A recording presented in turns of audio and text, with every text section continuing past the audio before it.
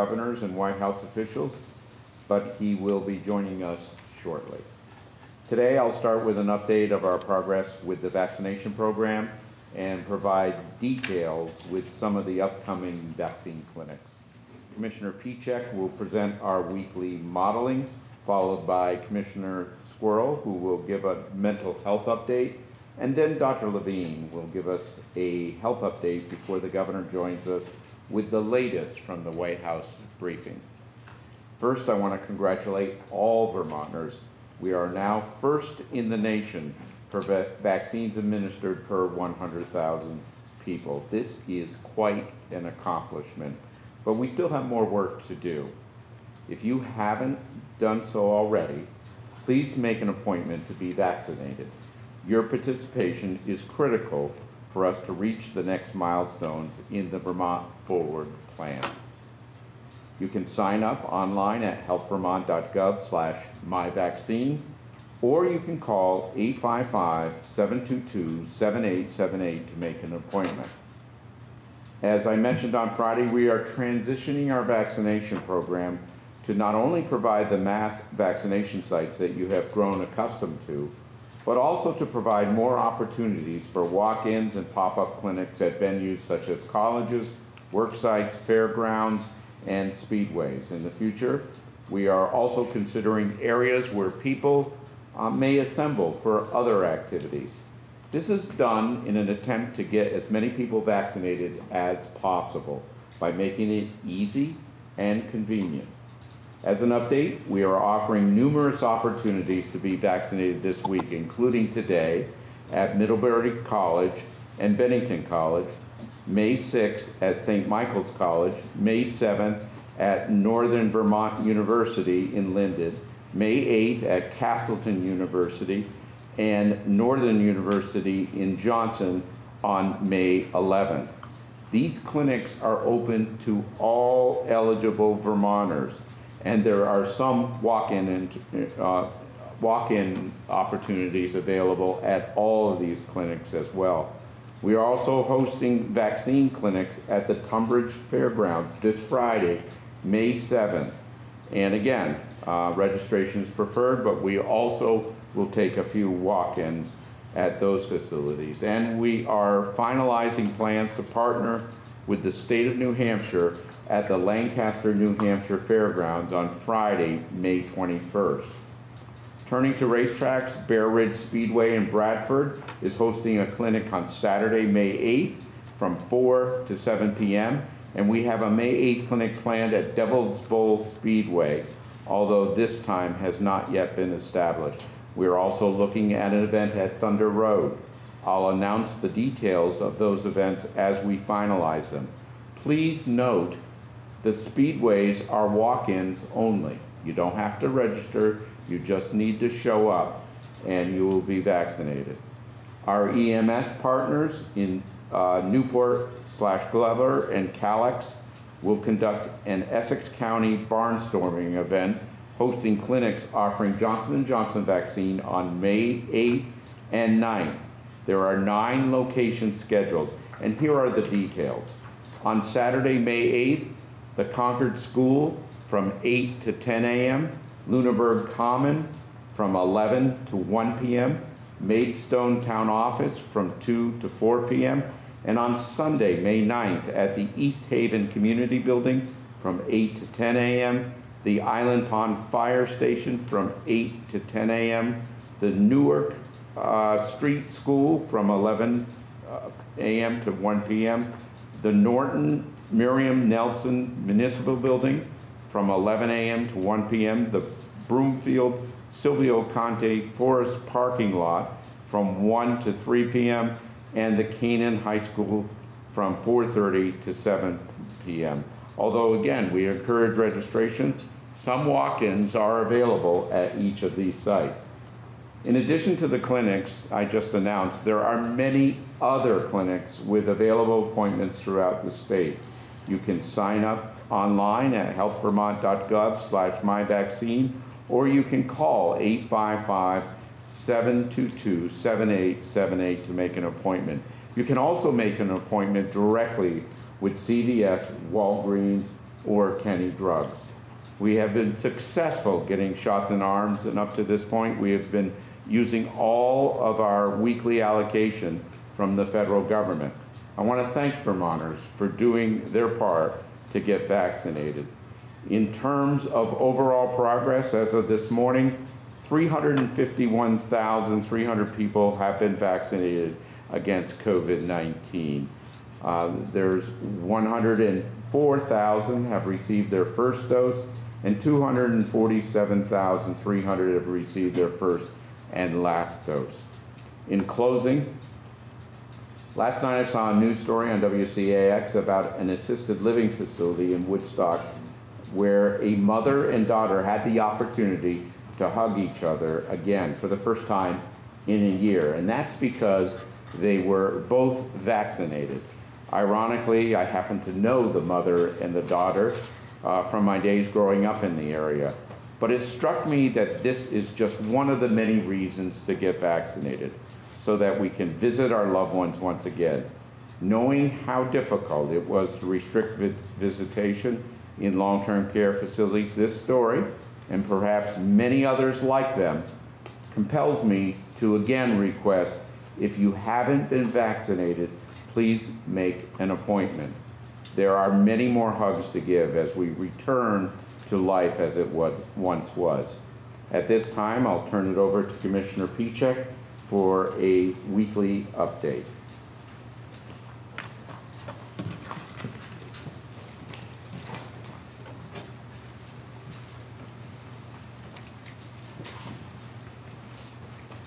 Thank you, Secretary Smith, and uh, good morning, everyone. Uh, we continue to see improving COVID-19 trends across the country, across the region, and here in Vermont as well, with the vaccines really beginning to demonstrate their power to end this awful pandemic if we continue to step up and get vaccinated. This week, Vermont is reporting 537 COVID-19 cases, a slight bump up in cases compared to last week. However, our seven-day average remains stable, decreasing very slightly and cases reported over the past two weeks are the lowest totals that we've seen in nearly six months. Further, Vermont continues to lead the country in per capita testing, both over the last seven days and the last 30 days.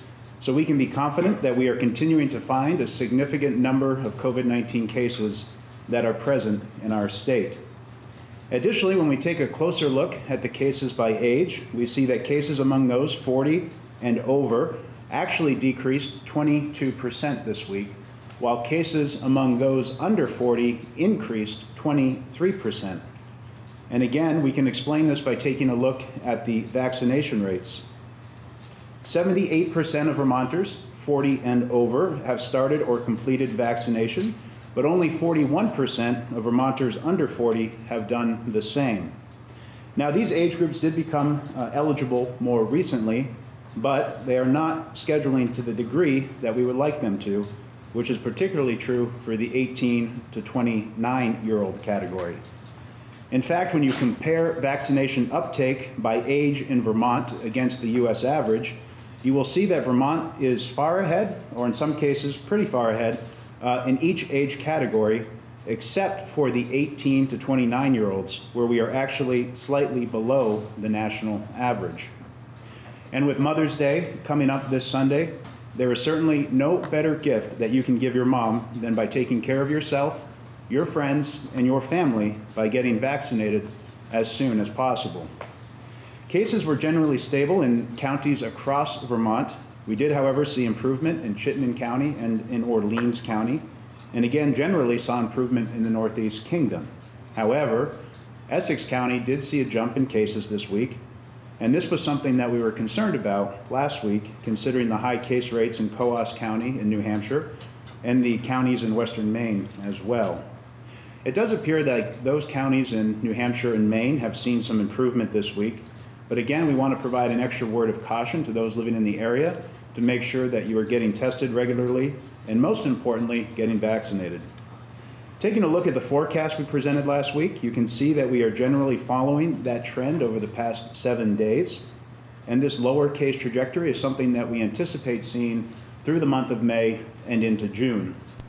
Further, the CDC Ensemble model, which takes a number of different models from across the country, also anticipates cases falling in Vermont over the next four weeks. And again, to ensure these trends continue and we're able to put this pandemic behind us in less than two months, we urge those who have not yet stepped up to get vaccinated to do so as soon as possible. As we were expecting, Vermont's hospitalization rate is starting to see a steadier decrease this week, with overall hospitalizations down close to 13% and uh, down 19% over the last 14 days. Over the last seven days, Vermont has had the fewest number of current hospitalizations on a per capita basis in the United States. This decline is largely being driven by fewer people over the age of 60 requiring hospitalization. In fact, from March to April, the rate of hospitalization decreased 36% for those 60 to 69 and decreased 60% for those over 70 years old. Further, with vaccination rates continuing to increase and case rates continuing to decrease in the population 40 and older, we expect to see hospitalization rates to continue their decline through the next few weeks. The improved case and hospitalization trends have continued to favorably impact our fatality rates here in Vermont as well. We did unfortunately report 17 deaths in the uh, month of April, but that was a decrease from the 24 we reported in March and the 71 that we reported in January. Further, our May fatality projection remains unchanged, and we anticipate seeing a further decrease in deaths in the month of May, with fatalities in May projected to be as few as five and as many as 15 for the month. Turning to our general vaccination progress, as Secretary Smith mentioned, Vermont continues to be a leader, standing at number one on doses administered per 100,000 and standing third in the country on the percent of our population with at least one dose and the percent of our population that is fully vaccinated. And again, when it comes to our elderly Vermonters, our older Vermonters, 65 and older, 95.5% uh, of them have received at least a single dose, and 85.2% of them are now fully vaccinated, making us again number one in the country.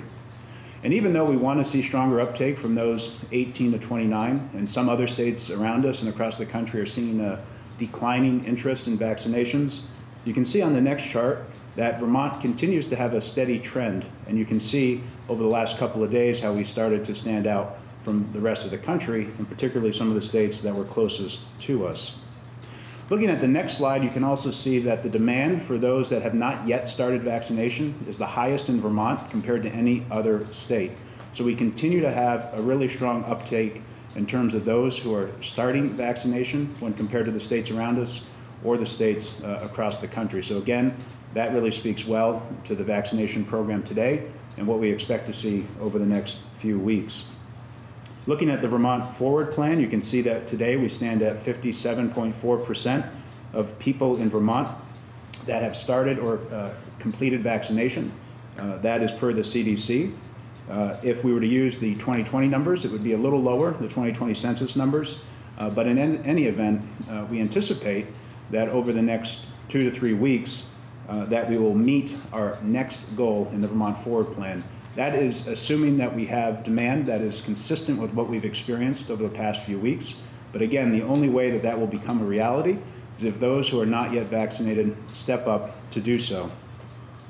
COVID 19 trends across the region continue to be another bright spot. This week, we are reporting 47,000 cases across the region, the fewest cases that we've seen since November 2nd. This represents 12,000 fewer cases than last week a decrease of over 20%. We also saw a decrease this week of 14% in terms of hospitalizations around the region, and deaths fell as well. Looking ahead, the new regional forecast projects decreasing case trends in each jurisdiction neighboring Vermont over the next six weeks, decreasing to levels that we have not seen since last summer, painting a very optimistic picture for the Northeast and for Vermont in the weeks to come. And at this time, I would like to turn it over to Commissioner Sarah Squirrell.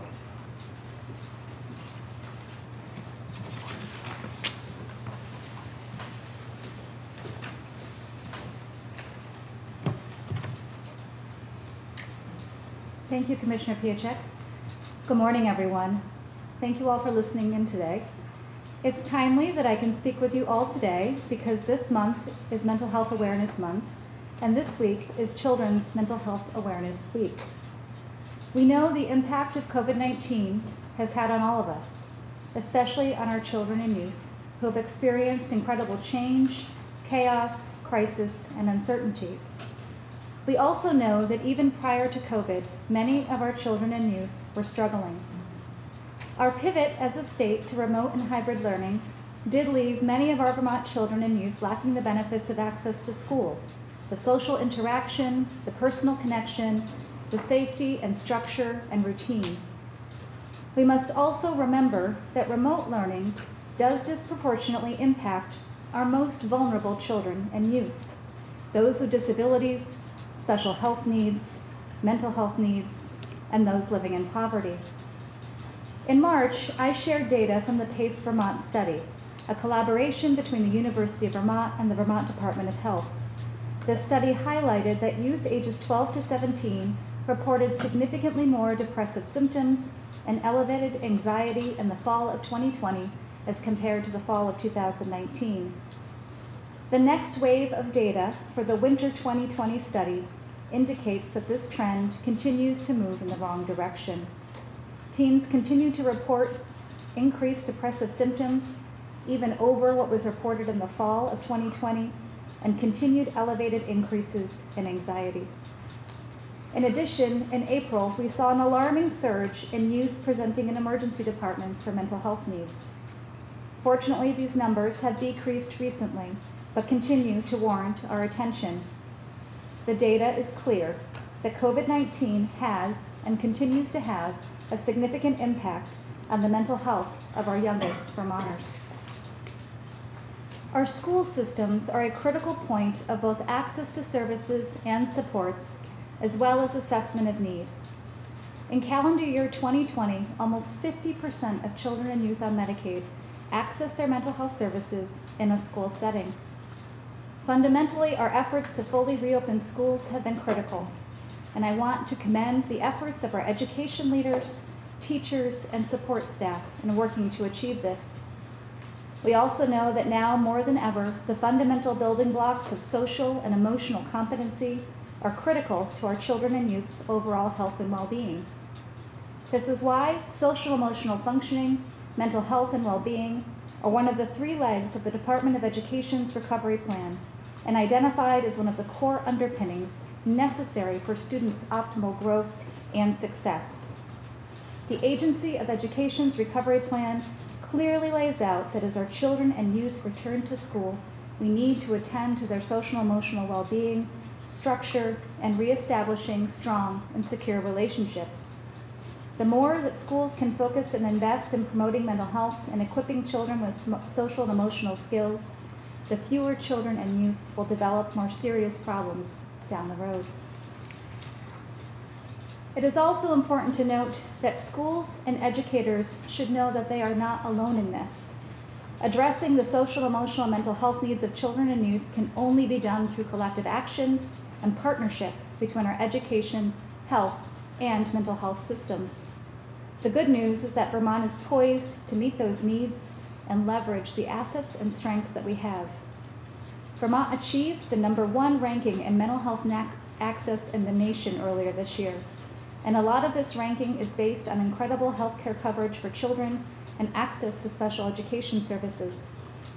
We also have one of the best and most revered school based mental health systems in the country that we refer to as Success Beyond Six, a partnership between our education and mental health systems that we should all be proud of. Success Beyond Six reduces cost to education by leveraging Medicaid and has built and solidified an incredible partnership between our local community mental health agencies and our education partners, with Success Beyond Six services in over 90% of our supervisory unions. I worked for a community mental health agency and ran a school based mental health program for over a decade in northern Vermont. So I've experienced firsthand how powerful this collaboration can be. I can remember my work in rural Vermont. There was a family in town that we were particularly worried about likely substance use, mental health issues in the home, and young children. On the first day of school that year, we became aware of one of the youngest children in the family, a three and a half year old. That three and a half year old got himself on the bus and arrived at his first day of school wearing nothing but a diaper and carrying an empty lunchbox. Now that is resilience. The principal of the elementary school and I worked side by side to support him and his family. I am happy to say they have graduated from high school and are working in their community. As mental health and education partners, we will continue to work together to address the social, emotional, and mental health needs of students, and as schools fully reopen, to ensure that all children have the opportunity to thrive and to meet their full potential.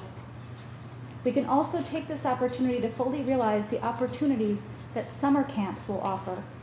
And I would encourage parents and caregivers to go to the Summer Matters page on the Vermont After School website, vermontafterschool.org slash summer matters. Summer 2021 will be an important time for Vermont's youth to re-engage in recreational interests, activities, reconnect with their friends, and rebuild that sense of optimism and sense of connection to their communities. Again, I want to commend our education system for their efforts to tackle the complexity of reopening schools. And the issue of supporting child and youth mental health is not one to be addressed in isolation, but together. We should also keep in mind that children and youth are resilient. They have great capacity to adapt and change if we provide the right supports around them. We have a lot of work to do, but I have confidence that we can do this, that we can support our youngest Vermonters to ensure their social, emotional, and mental health needs are met, and they can thrive as we of the state continue to move towards recovery.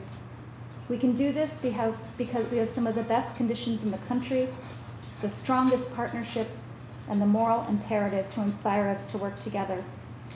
If there is one thing I have learned in my work is that when our communities, the state, mental health, and education partners align towards a common goal, there is nothing we cannot accomplish. I also want to acknowledge that as we move towards full recovery as a state, these are still hard times for many Vermonters. And if you or someone you know is struggling, don't be afraid to ask for help, and don't be afraid to talk about it. Vermonters have a broad range of free 24 7 confidential mental health supports available to them. You can still call Vermont 211 to access counselors for support or referrals to services. If you or someone you know needs immediate support, you can access the crisis text line. Simply text the letters VT to 741 741. And if you or someone you care about is struggling with thoughts of suicide, call the National Suicide Prevention Lifeline at 1 800 273 8255. Thank you for the time this morning, and I'm going to turn it over to Commissioner Levine.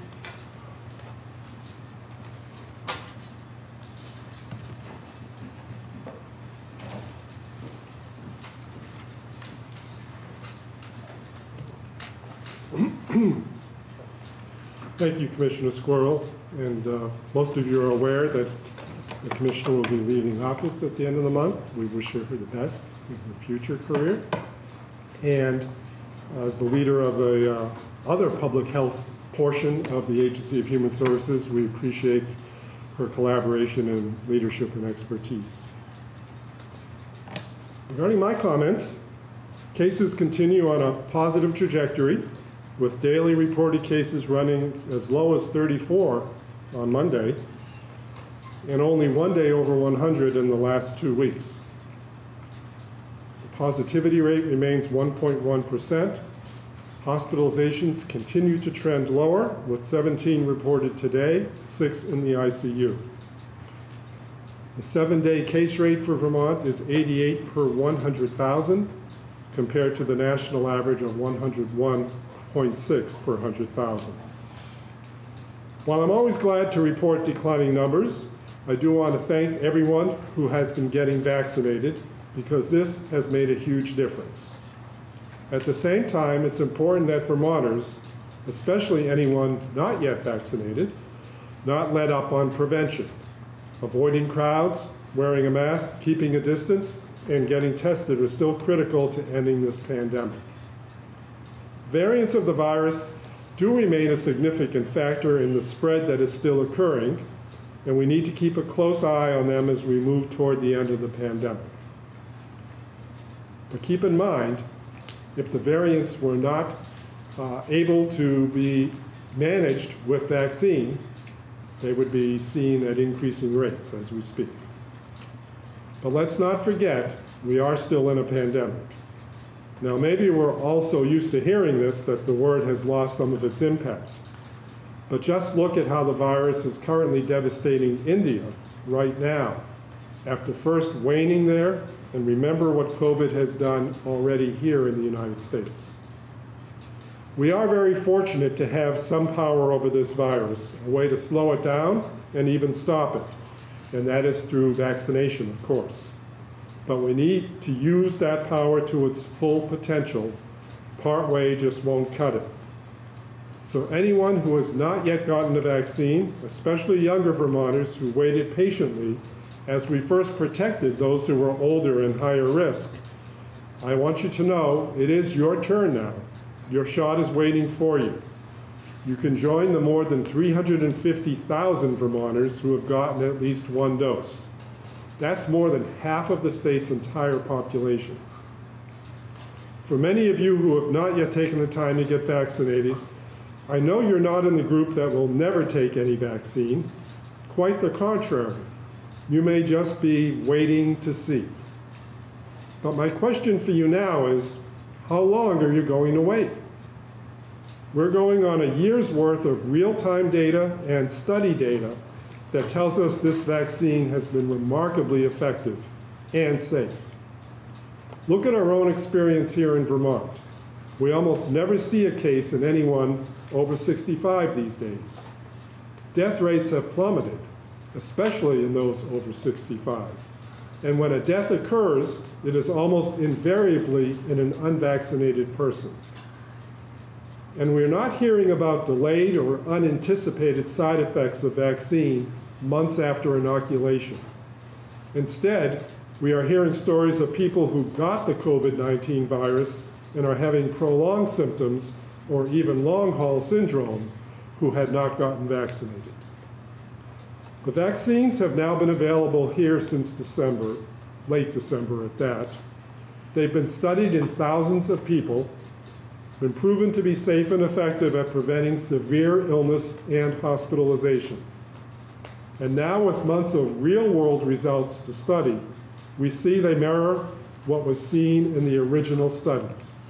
The vaccine is clearly making a difference in slowing the spread of the virus. It is okay to have questions, but please don't leave yourself vulnerable to the virus and don't assume others will protect you. It's just too risky.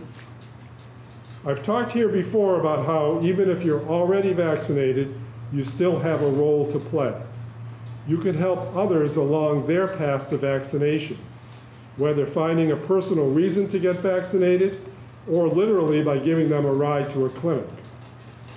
So if you haven't yet, I ask you now to reach out to someone in your life, especially if they are younger, who may not be vaccinated, whether you're a parent or a grandparent, aunt or uncle or friend.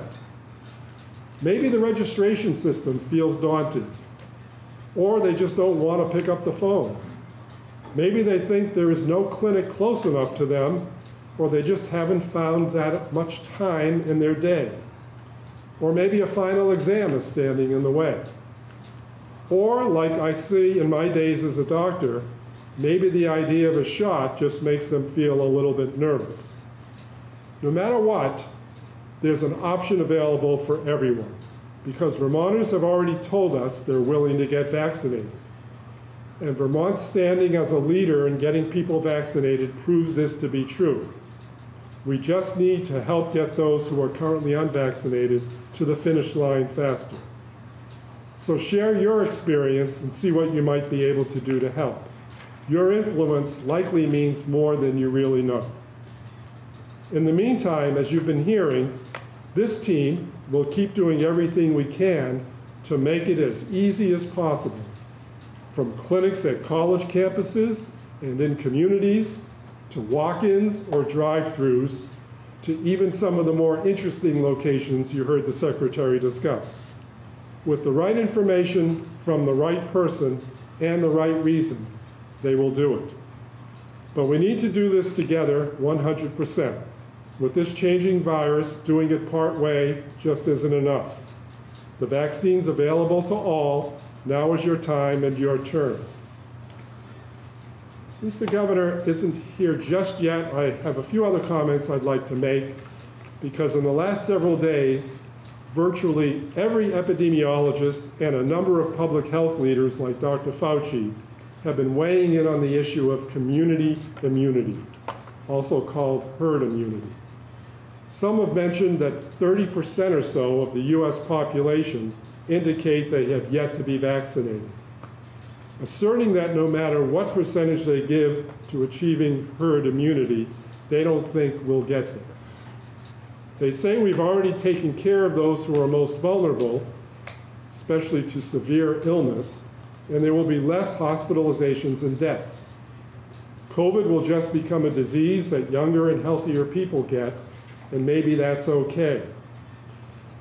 But that's not where I stand not in this state where we have a tradition of promoting and preserving good health.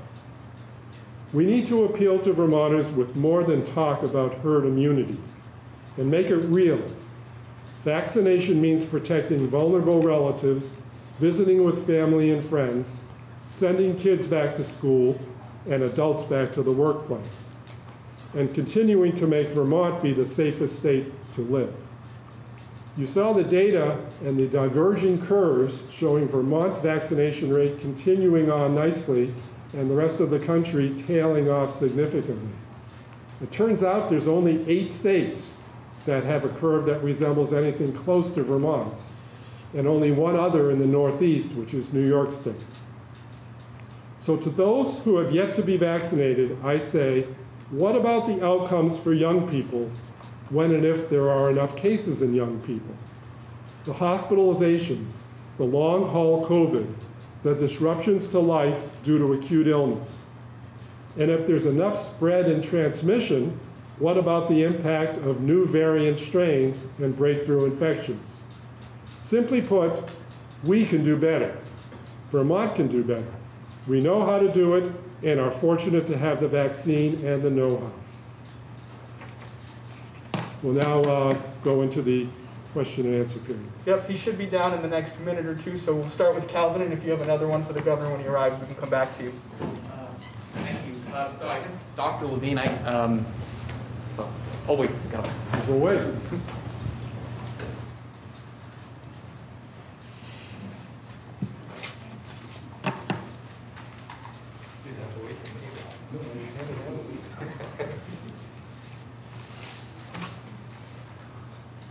Timing, I guess. Well, good morning, everyone. I uh, just got off the phone with fellow governors, uh, Dr. Fauci, the CDC Director, Dr. Walensky, White House officials, and others. Um, Here's what we heard.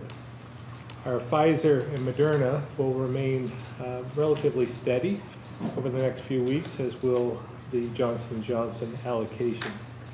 So while we don't expect an increase next week, it will be steady at our current allocation rate. But there is some, uh, some good news.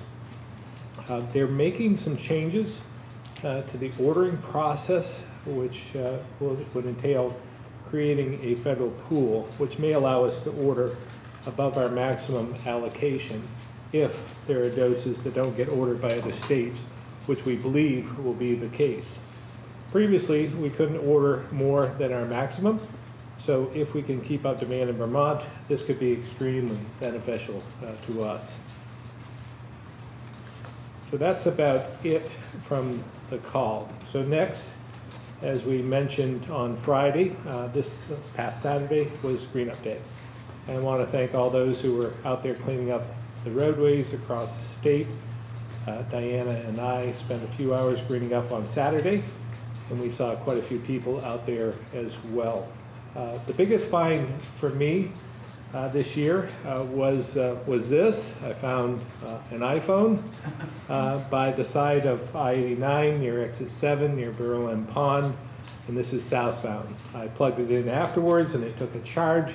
So if you think it might be yours, just call the office and we'll give it back to you. Next, as you saw in Commissioner Pieciak's presentation, uh, Vermont continues to be a national leader on vaccinations, ranking first in the nation on rate of administration. And well over 60% of adults have had at least one shot. But we can't let up now. Putting this pandemic behind us means we need as many Vermonters as possible to be vaccinated. We've seen incredibly high numbers for those over 65, with almost 95% of them receiving at least one dose. But we still have some work to do with our younger populations.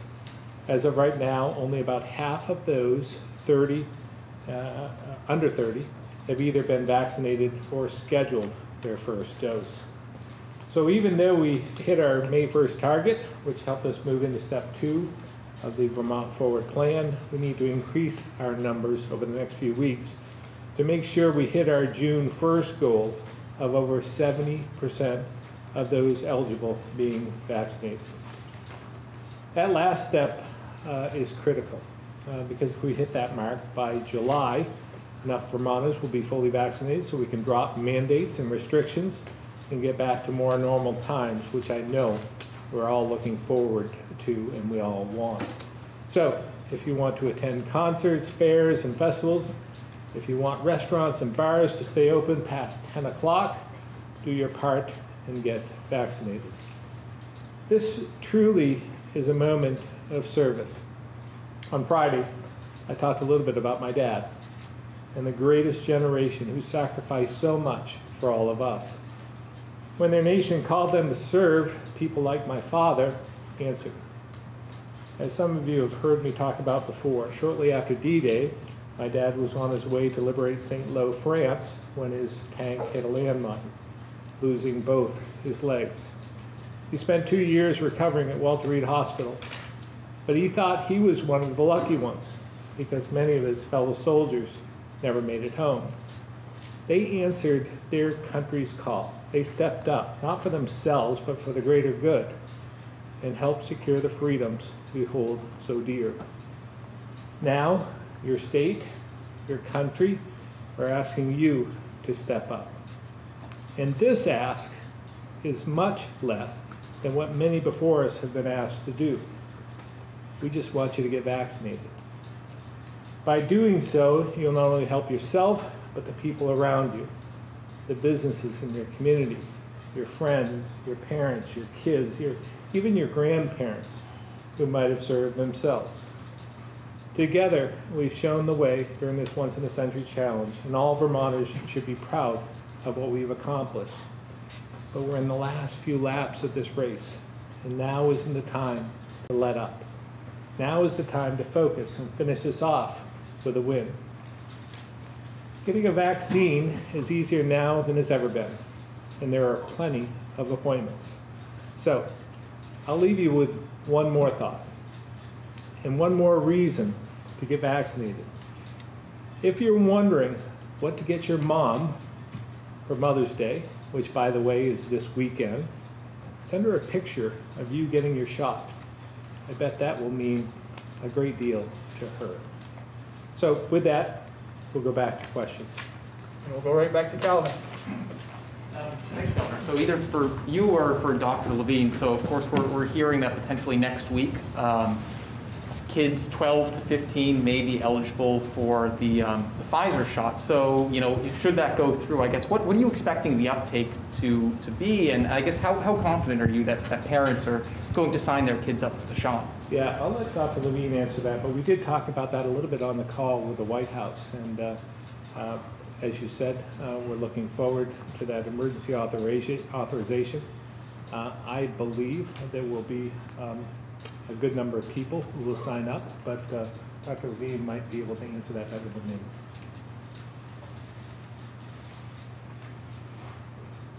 We're thinking there's in the 25 to 27,000 um, number of teenagers in those age ranges. And um, if their vaccination expectation matches that of their parents, and the curve in Vermont, uh, we think there'll be very strong uptake in that group. We also think that uh, the timing will probably be sometime next week. Everyone's got a different date, but their thought is that the advisory group will have made their decision within a day or so. The uh, decisions from FDA and CDC will occur, um, and we'll be prepared for that. Uh, should coincide pretty nicely with uh, the way our vaccine effort is coming out. We have a lot of the pediatric community already engaged, working with uh, communities and uh, families and uh, having them understand the value of the vaccine as well, sort of a prelude to getting the vaccine. And I think my second question is probably for Commissioner Squirrell. Um, so I understand that um, the administration and lawmakers, you guys are working on a plan to um, relieve the, the backlog of, of youth that we're seeing in emergency rooms that are waiting sometimes for days on end for uh, acute mental health care. Um, I guess I'm just wondering, what, what does that plan look like in the interim, short term, medium, long term? And then I guess how, how much do you expect uh, this to cost? And maybe is it going to be paid for by, by federal funds or uh, what, what sort of avenues do we have there? Yeah, thanks for the question, Calvin. I Really appreciate it. First, I just want to note that this is not necessarily a new issue, um, but one that has certainly been exacerbated by the pandemic. Having children and youth waiting for extended periods of times in emergency departments is unacceptable. Um, it is a systemic issue that requires a systemic response, which is why this morning the Agency of Human Services presented our actions and strategies, immediate, short-term, midterm, and long-term solutions to address this issue. Second, I think we have to keep in mind um, that long wait times in emergency departments, whether it's children, youth, or adults, are symptomatic of a broader issue in the system, which is flow. Um, so when we start to see backups in emergency departments, it usually means that there's a backlog somewhere else. Um, for example, we did see an uptick in youth presenting in emergency departments in April. I'm happy to report that that is trending down as of today. Uh, one of the primary issues that was contributing to that was lack of step-down options for those children and youth who were in the Brattleboro retreat at that time, um, thus indicating that some of our solutions need to be on residential capacity, step-down capacity, and those are some of the solutions um, the Department for Children and Families put forward today. In addition to that, um, we can't ignore the fact that the pandemic has continued to have an impact on our system of care. Um, services not being provided fully in person, decreased capacity in our hospital diversion programs, decreased capacity in our residential programs, as I noted.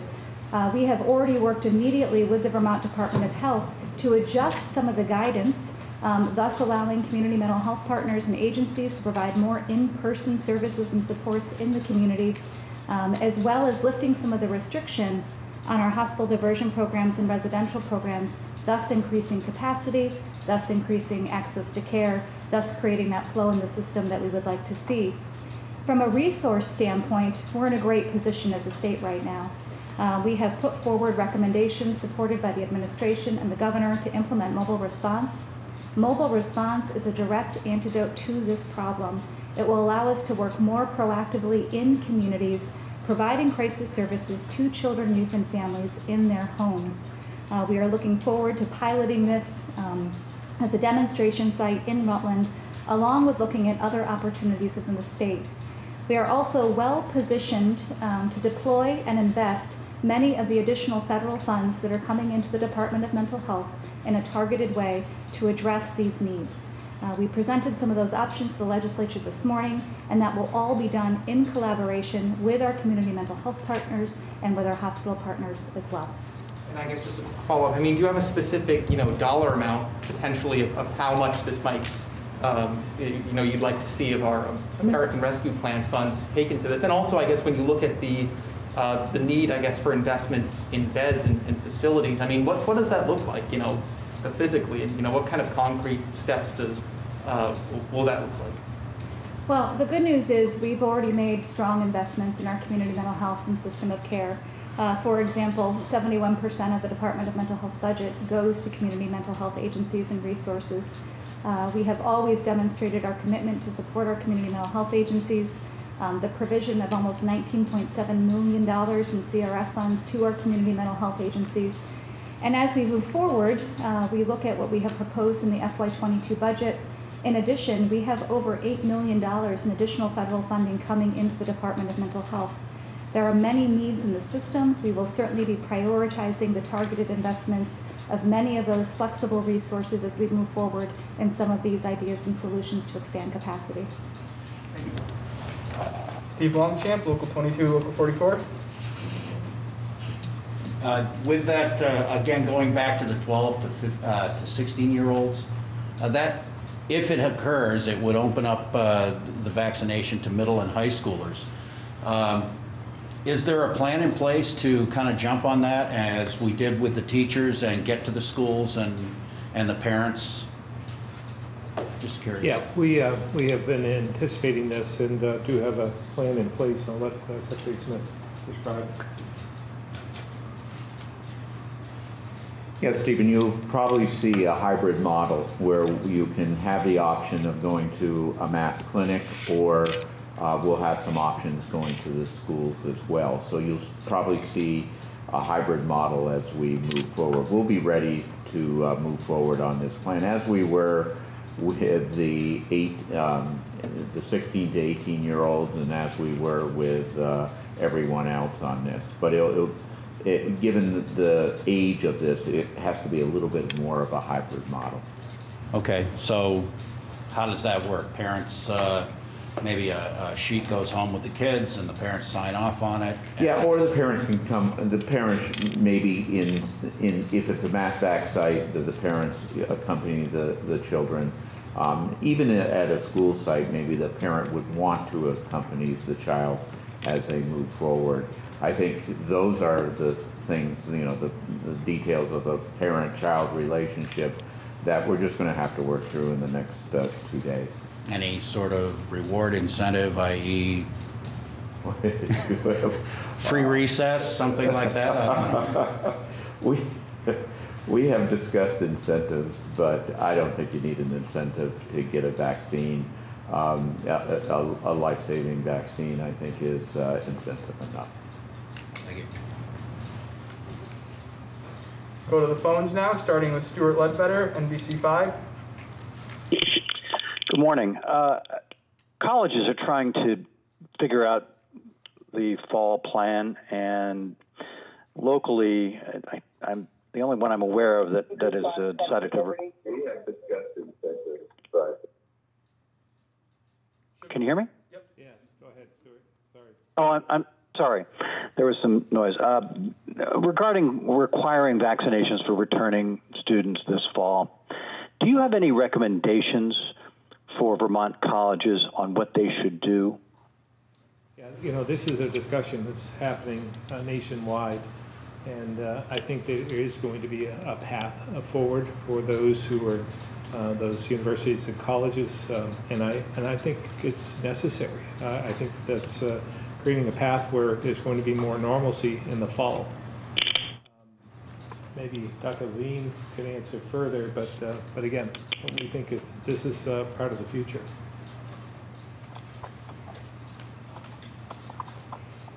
There are already five schools in Vermont that have uh, voiced uh, the idea of mandating vaccine for the fall. Um, So the movement is already beginning. There are over 100 schools in the country, and I'm sure that number's increased since the news report of 100 came out. Um, So I think the, the academic, university, college community is speaking with its actions uh, and saying that they would prefer to have normal operations or operations as close to what normal used to be. And to do that effectively, they want to make sure that they have a vaccinated student body. They have a lot of issues to still, you know, get through in terms of uh, their faculty, their staff. Uh, colleges are big places, employ a lot of individuals, um, so they'll have a lot of other things to address. But certainly, um, the discussion is going to colleges, it's going to the business community. Um, it's very early in the stages right now in this country, but it's being talked about with sufficient vigor that I think uh, we're seeing a lot of actions on that front. Um, Whatever, with whatever advice a a state would give, uh, the fact of the matter is, uh, those communities are already speaking. All right. Thank you very much. Lisa Rathke, the Associated Press. Uh, thank you. Um, the health department mentioned that there are more clinics taking um, walk-ins.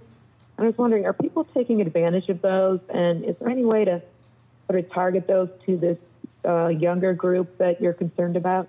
Yeah, we definitely want to meet them where they are, and uh, we are seeing some success. We saw that in Barton when we had uh, the uh, drive-through uh, type of approach, and we had walk-ins Linda, you have that, to wait for you. which was uh, essential Oh, uh, and part of the success. Secretary Smith, anything to add to that?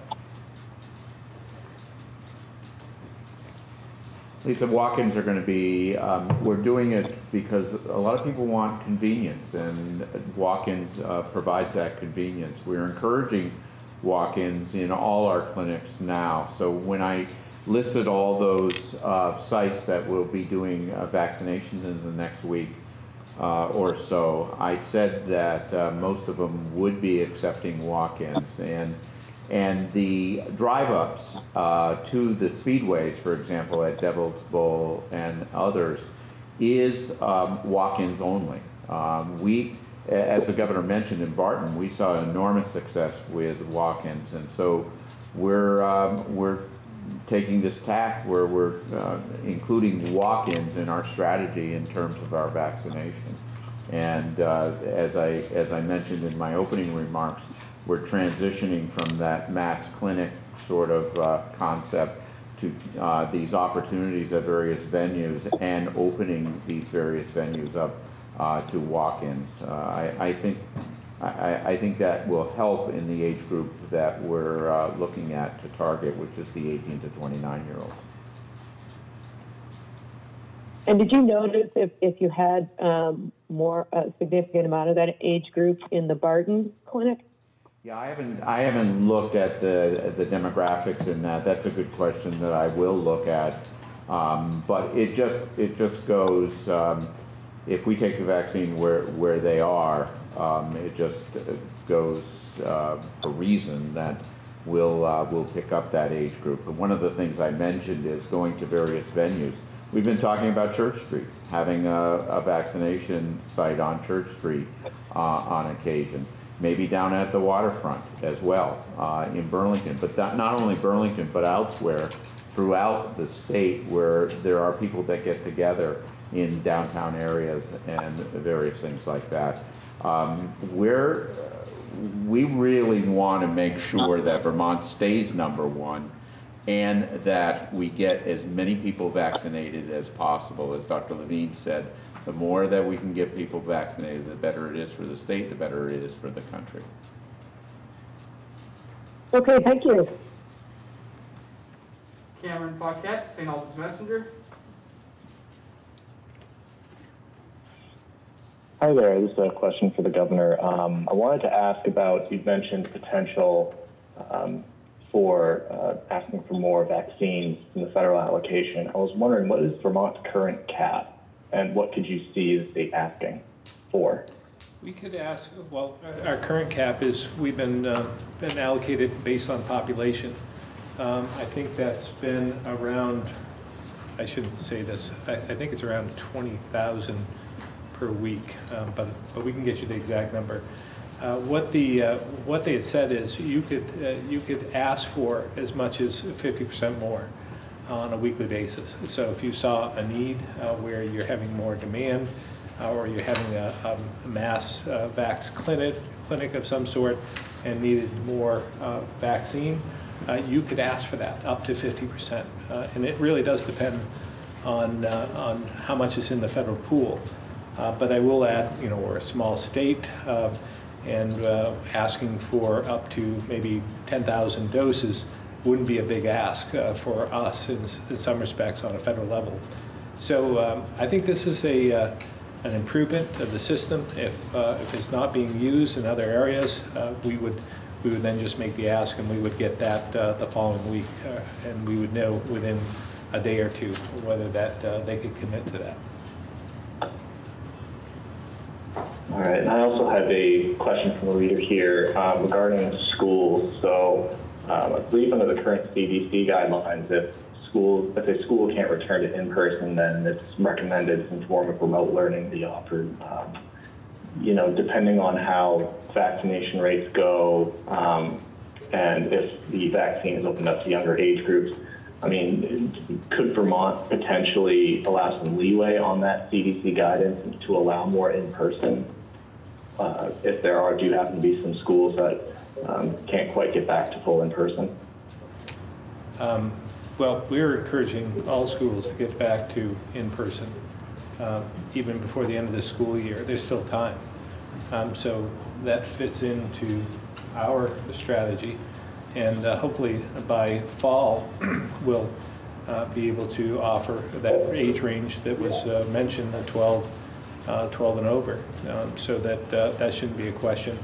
And we know that there, I think Moderna is doing some trials uh, for a younger uh, population. I think it's 6 to 12 uh, at this point in time. So there may be some more good news uh, by fall in that regard. So, so I, everything points to we should be back to, I would think, almost all in-person instruction by fall. Great, thank you. Andrew McGregor, Caledonian Record. Uh, Yes, thank you. Uh, Good morning. Uh, This one for Secretary Smith. Um, Now that the vaccine is available to everyone and there's uh, at least potential walk-ins at every clinic, does the health department website allow Vermonters to search and and view the entire list of clinics without having to create an account and log into the registration system? I would think that would lower the bar for awareness and access.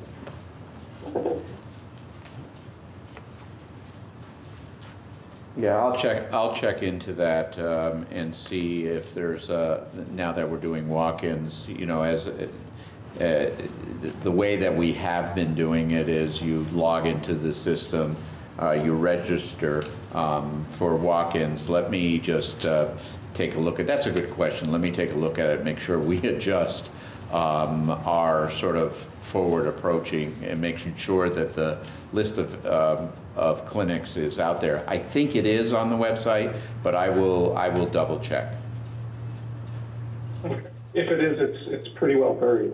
Okay. Um, uh, And my follow-up question is, when someone does uh, choose to register and go looking for an appointment, what's the average, um, what's the average delay from when someone you know, logs in and schedules an appointment to when they actually receive their first dose now? Yeah, it's about two weeks. Still two weeks? So, Yeah. so maybe the best option is to look for a log-in? Well, there, you know, it depends on where you are. Um, I say on average two weeks, but you can find clinics if, depending on where you want to drive, you can find clinics that are going to be quicker than that. Um, I say, I say two weeks not to overpromise, to be honest with you. Okay, thank you. Lisa Loomis, the Valley Reporter. Good afternoon. Uh, My first question is about the Vermont cases by age slide. In this, on today's slide deck, it shows for the last three weeks, the highest number of cases in those 20 to 29 year old, 20 to 29 years old. The second highest number of cases is between the 10 and 19 year olds. Is it possible to get any further breakdown on the ages in that 10 to 19 year old age band? Are we really seeing a significant increase in cases in 10 to 12 to 13 year olds? I'll let uh, Commissioner Pieciak answer that.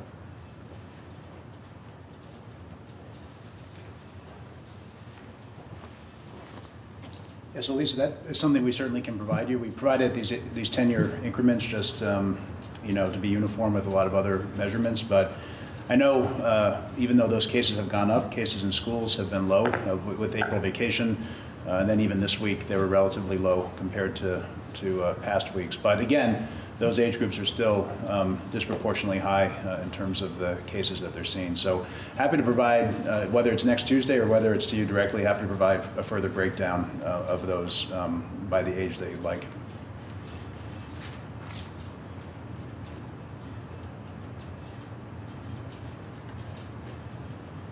Still there, Lisa? Lisa, Hi, Lisa. Julie. I think Oh, you may have sorry. lost the connection at the conference. Uh, I heard someone just say my name. Yeah, yeah, Julie, it's Mike Schirling. Uh, I was going to say the same thing. It sounds like the conference dropped, so we should hold for a minute, I think.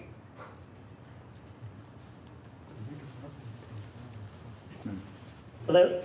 You're still there, Lisa. We hear you. I, I, okay. Can you repeat your most recent question? It might have dropped for a second. Yeah, my, I think Commissioner Pieciak did answer my first question. My second question is probably for Commissioner Harrington. A reader who was a state employee received a letter from the unemployment office about a fraudulent claim. While talking to someone at the call center, she verified that the hackers had her driver's license number, mailing address, and her state salary level. She wanted to know which databases the hackers had access to and what other personal information may have been compromised.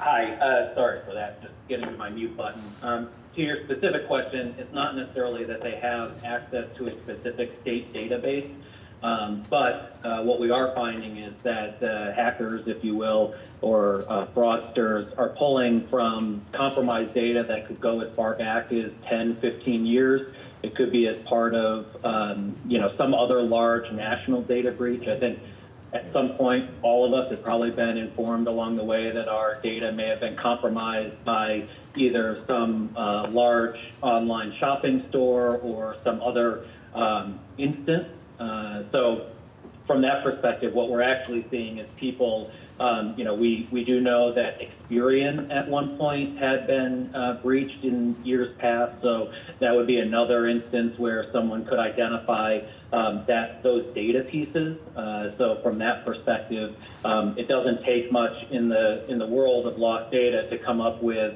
a name, a social security number, a date of birth, a mailing address, um, someone's income, um, because they're reported at so many different levels and so many different points.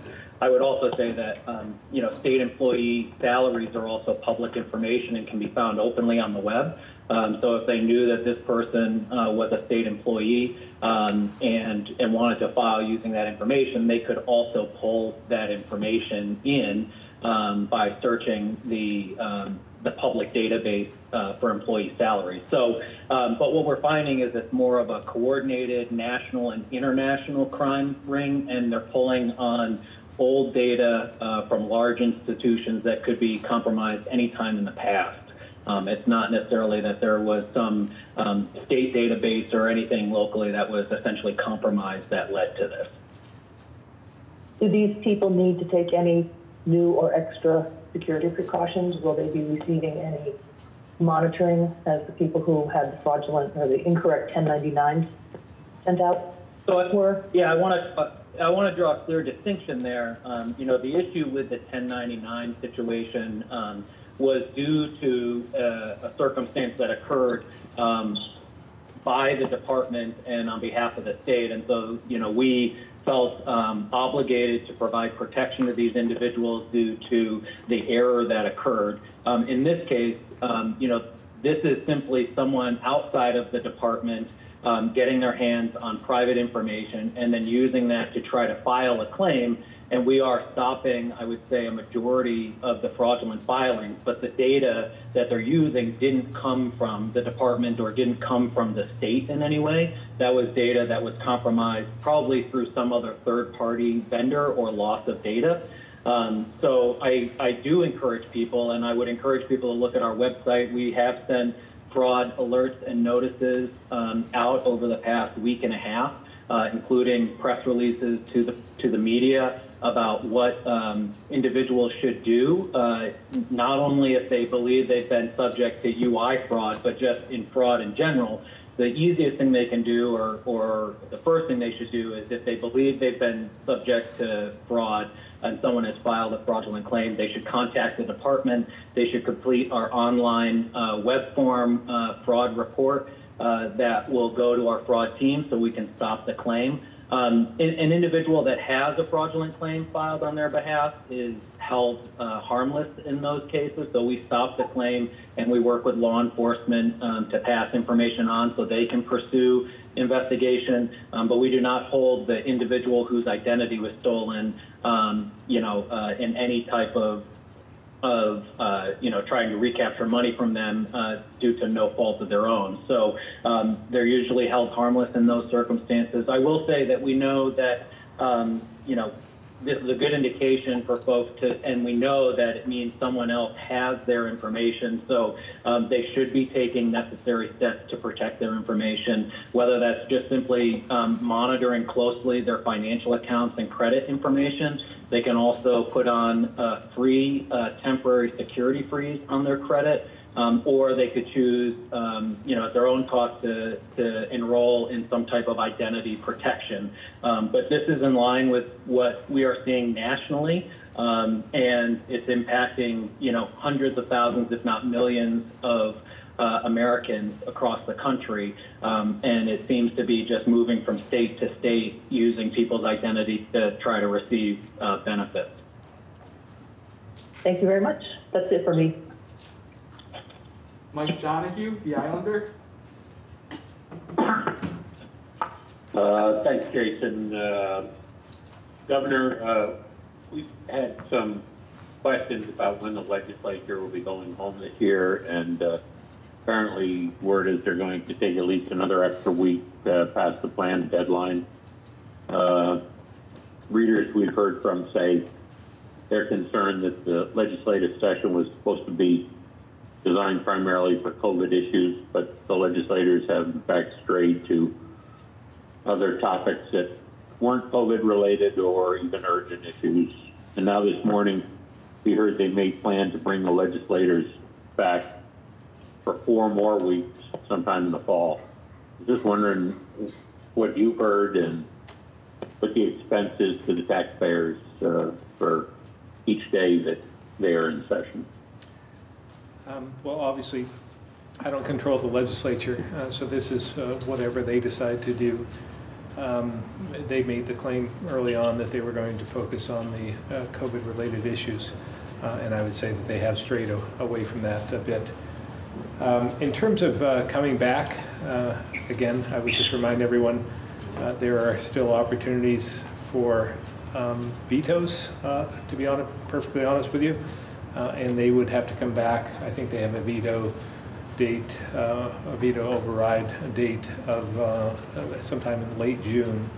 Um, So they may be coming back then. Um, And they are uh, considering, from what I've heard, uh, maybe coming back in October, uh, based on what we may learn from the federal government. There is a- an infrastructure package that President Biden is considering, Congress is going to be taking up. And if there's any movement there, I think the legislature has an interest in coming back then, but time will tell. That's uh, totally up to them, separate branch of government. Do you know, or can you find out, maybe even for next time, I realize it may not be right in your memory here, but what percentage of bills that have been forwarded to you are actually COVID-related this year? I don't, I don't have that, uh, Mike, but uh, we can take a, No, we can take a look. next time. Yeah, we can take a look. Yeah, okay. And just one follow-up from the other day. We have in fact heard from some more state employees since the press conference that they are in fact have been asked about whether they have the vaccine or have to prove it. Uh, in light of the responses from the other day, one state employee is wondering if it's possible for somebody in authority, whether it's human resources commissioner or the uh, secretary of administration to send a memo out to all the state employees and especially the supervisors. So it's clear that asking about shots and demanding written proof is outside the bounds uh, from what I understood the answer to be. I understand, you know, word of mouth is hard to, to do when you're spreading it to six or 7,000 state employees but it seems this person seemed to think the memo might be a good way or posting it on the state website. Maybe uh, Secretary Young may be on the line and could comment on this. Uh, thank you, Governor. I am on the line. Thank you, Mike. Uh, I, I personally am not aware of the um, situations that you're mentioning where employees have been, been asked. And I will um, circle back to our Commissioner of Human Resources and find out what communications, if any, have been sent to date and uh, um, follow up on, on that idea uh, and think about what we can do. Great. Thank you very much, everybody. Appreciate it. Cat, WCAX. Hi. So for the walk-in clinics that are the two-dose shots, how does that work for a follow-up? Do people make appointments on site for that second dose, or do you plan a second walk-in clinic for a few weeks after in that same location? I'll let Secretary Smith answer that. That's a great question, Kat, and one we've been working out the last few days. Uh, We'll make an appointment uh, for those people uh, in a follow-up clinic. Um, We're just working out the logistics now, but yeah, that, that's basically what it would do. We would either assign them a clinic that we already know about, or we would do a follow-up clinic and make sure we notify them. But they will, they will know where they have to go and what, what they have to do to get their second shot. Are you concerned at all that people who did walk-ins for the convenience factor may not show up for their second dose? I, I'm not that concerned. If they're showing up for their first dose, they'll show up for their second dose. I mean, um, why show up for your first dose if you're not going to show up for your second dose? We, we've had limited, um, limited people that have not showed up for their second dose. So there isn't a huge um, uh, sort of number of people who have not shown up for their second dose in our experience since, since December. Uh, there are some, but the, they, they, it isn't a huge number. So I don't, I, I don't foresee us having an issue with, with that, whether it's walk-in or whether it's a, a, a mass clinic or a drive-up or anything else. If it's a drive-up, uh, obviously we'll have to do a second clinic on a drive-up, but the, um, you know, I, I, I just don't see that as an issue. And then how is the state accounting for people who get their shots in another state? So I had a viewer who asked this question after saying, you know, hey, I never told anyone in Florida anything about having a Vermont address when I got my vaccine there. And I have to assume on the Upper Valley side that some Vermonters are getting their shots in New Hampshire. So are we potentially more vaccinated than our numbers show? Or do we have a really definitive way that we keep track of when people get their shots in other states? Yeah, that, with healthcare facilities, it's a lot easier to answer that. The answer is yes. We get we get notified from a healthcare uh, facility in in sort of the registry. We get notified by primary care if it's done in another state as well. What we're doing now is following up the databases along the border. For example, New Hampshire. Um, and, and more particular, we're just making sure that we capture everybody in Essex County um, and that we are going to the pharmacies now and asking for uh, records from the pharmacy on the New Hampshire side. As you know, about three weeks ago, New Hampshire allowed anybody to come and get vaccinated in their state. Um, we're just making sure that we capture those people and bring them, bring them forward. But to, that's where the complication comes in. In terms of healthcare facilities, uh, Dartmouth, for example, regularly reports, other hospitals on the other side regularly report, other healthcare facilities regularly report. Um, and we're just getting notification from the CDC in the next week or so where we'll get also um, Department of Defense data uh, for Vermonters, National Guard, for example, and uh, VA data uh, that will be coming our way. So we'll have a more complete picture uh, of this as we move forward. But it sounds like there is some opportunity for someone who like got vaccinated in Florida, which is not obviously on the border of Vermont, There- there- potentially not be counted in Vermont. There, there are some, there are some, there is some potential for that. We think it's limited. Great, thank you. Greg Lamoureux, the county courier. Good afternoon, Governor and staff. Uh, quick follow-up on the identity theft question. Uh, I think Lisa was the one that asked it.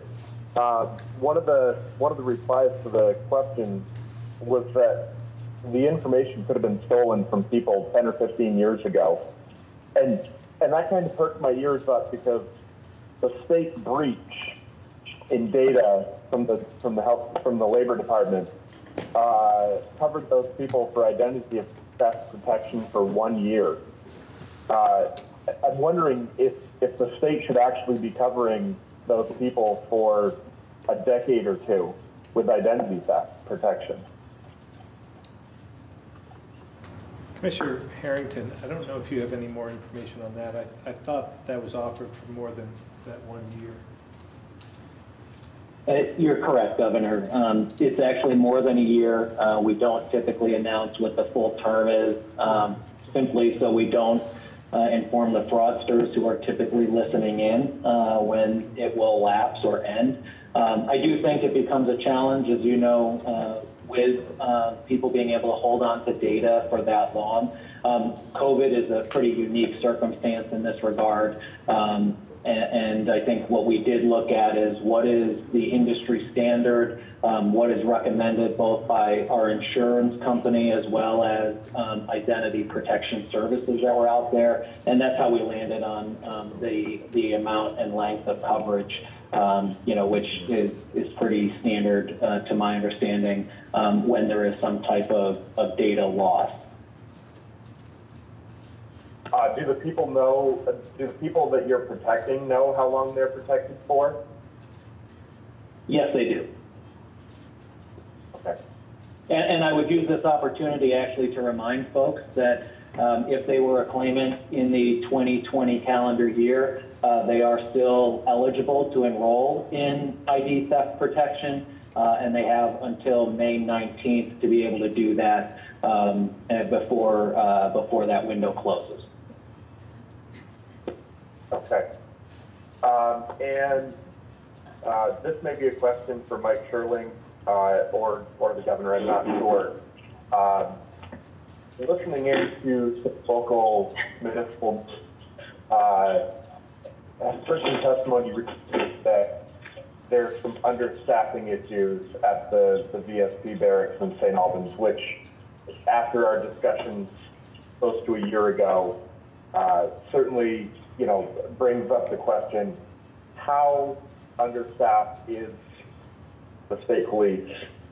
And from an administration's point of view, is that how you're helping to balance the budget?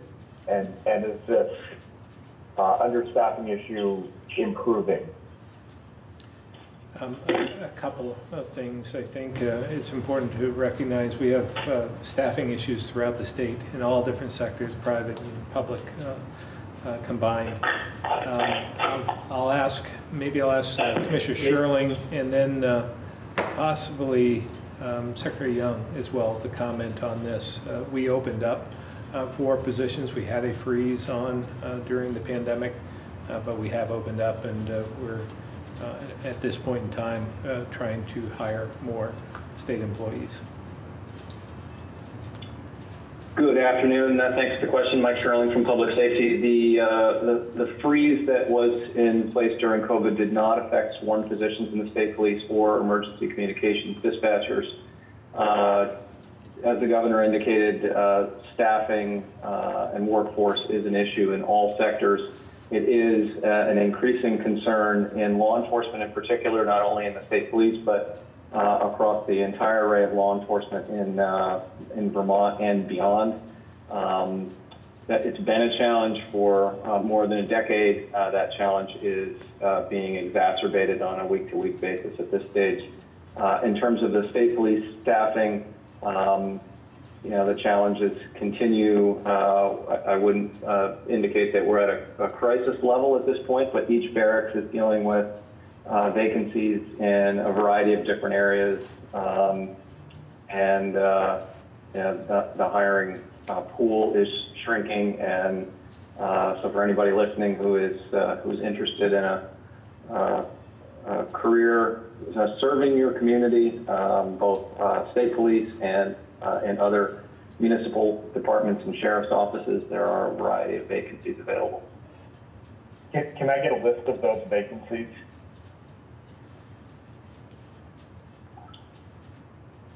I, uh, if you send us uh, a message, I will follow up with you. Agreed. Um, I think that's probably it for now. I appreciate your time and uh, thank you, Governor. Yeah, Thanks, uh, Greg. Uh, Secretary Young, is there anything you wanted to add to that?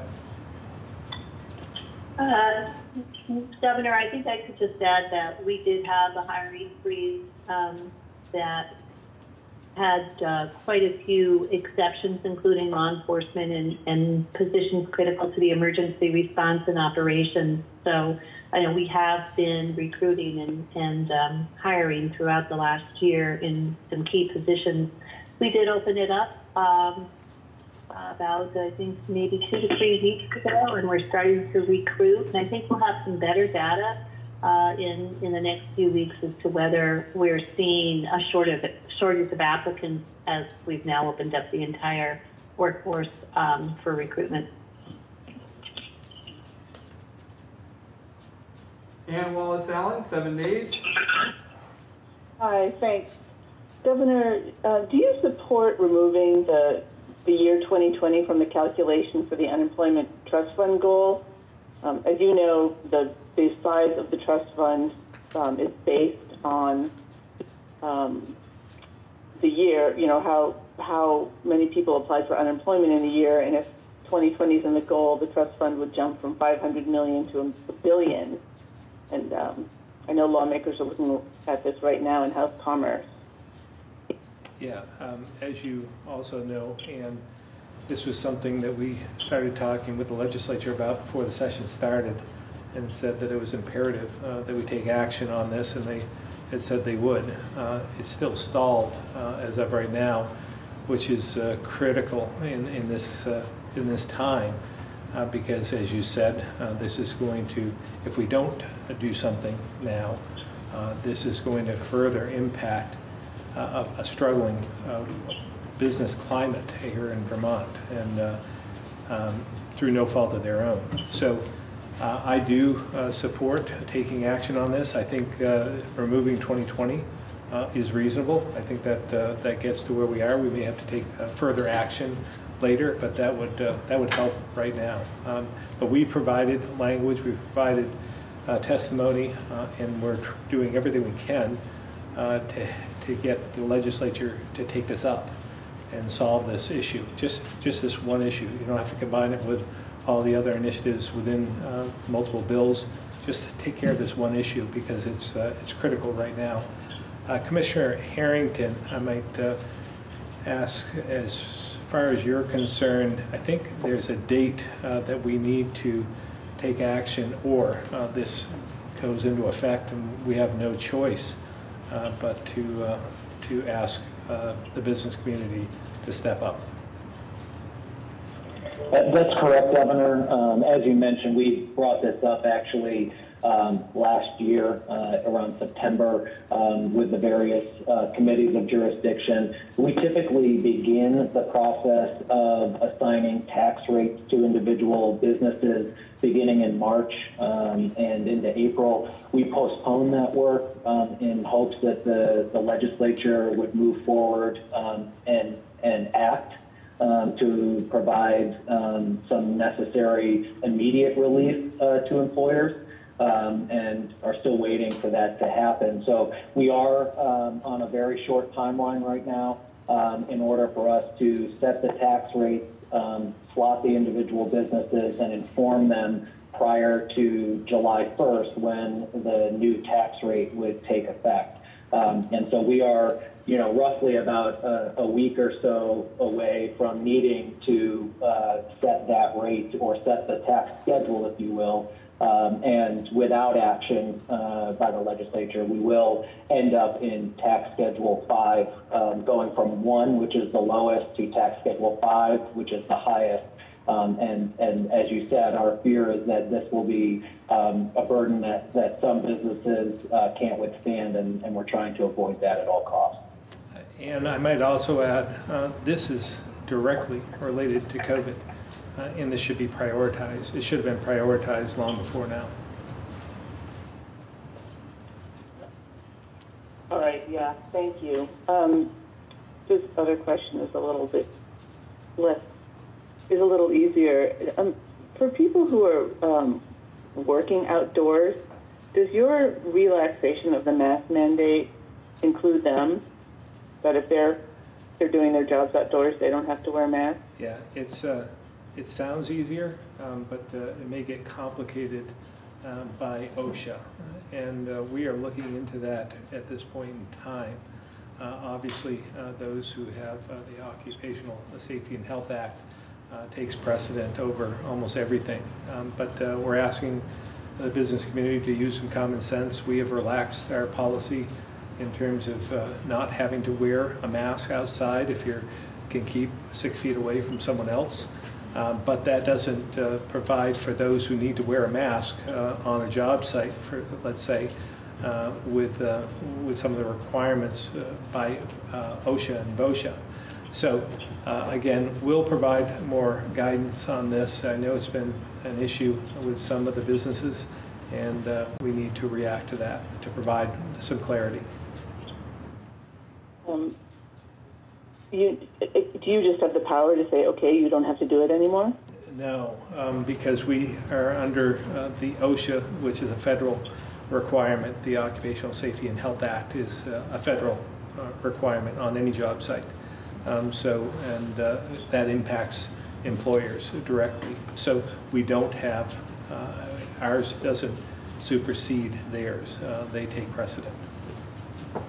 But then when you say we need to react to that, what can you do? Be- Because I think that there's, there's some confusion as to what we're asking or what we're allowing. Uh, And again, if you could, uh, uh, if you could, let's just say it this way, and we'll, again, we'll provide more clarity, but if you were on a job site before COVID and uh, you could go without a mask, uh, then you can go without a mask now.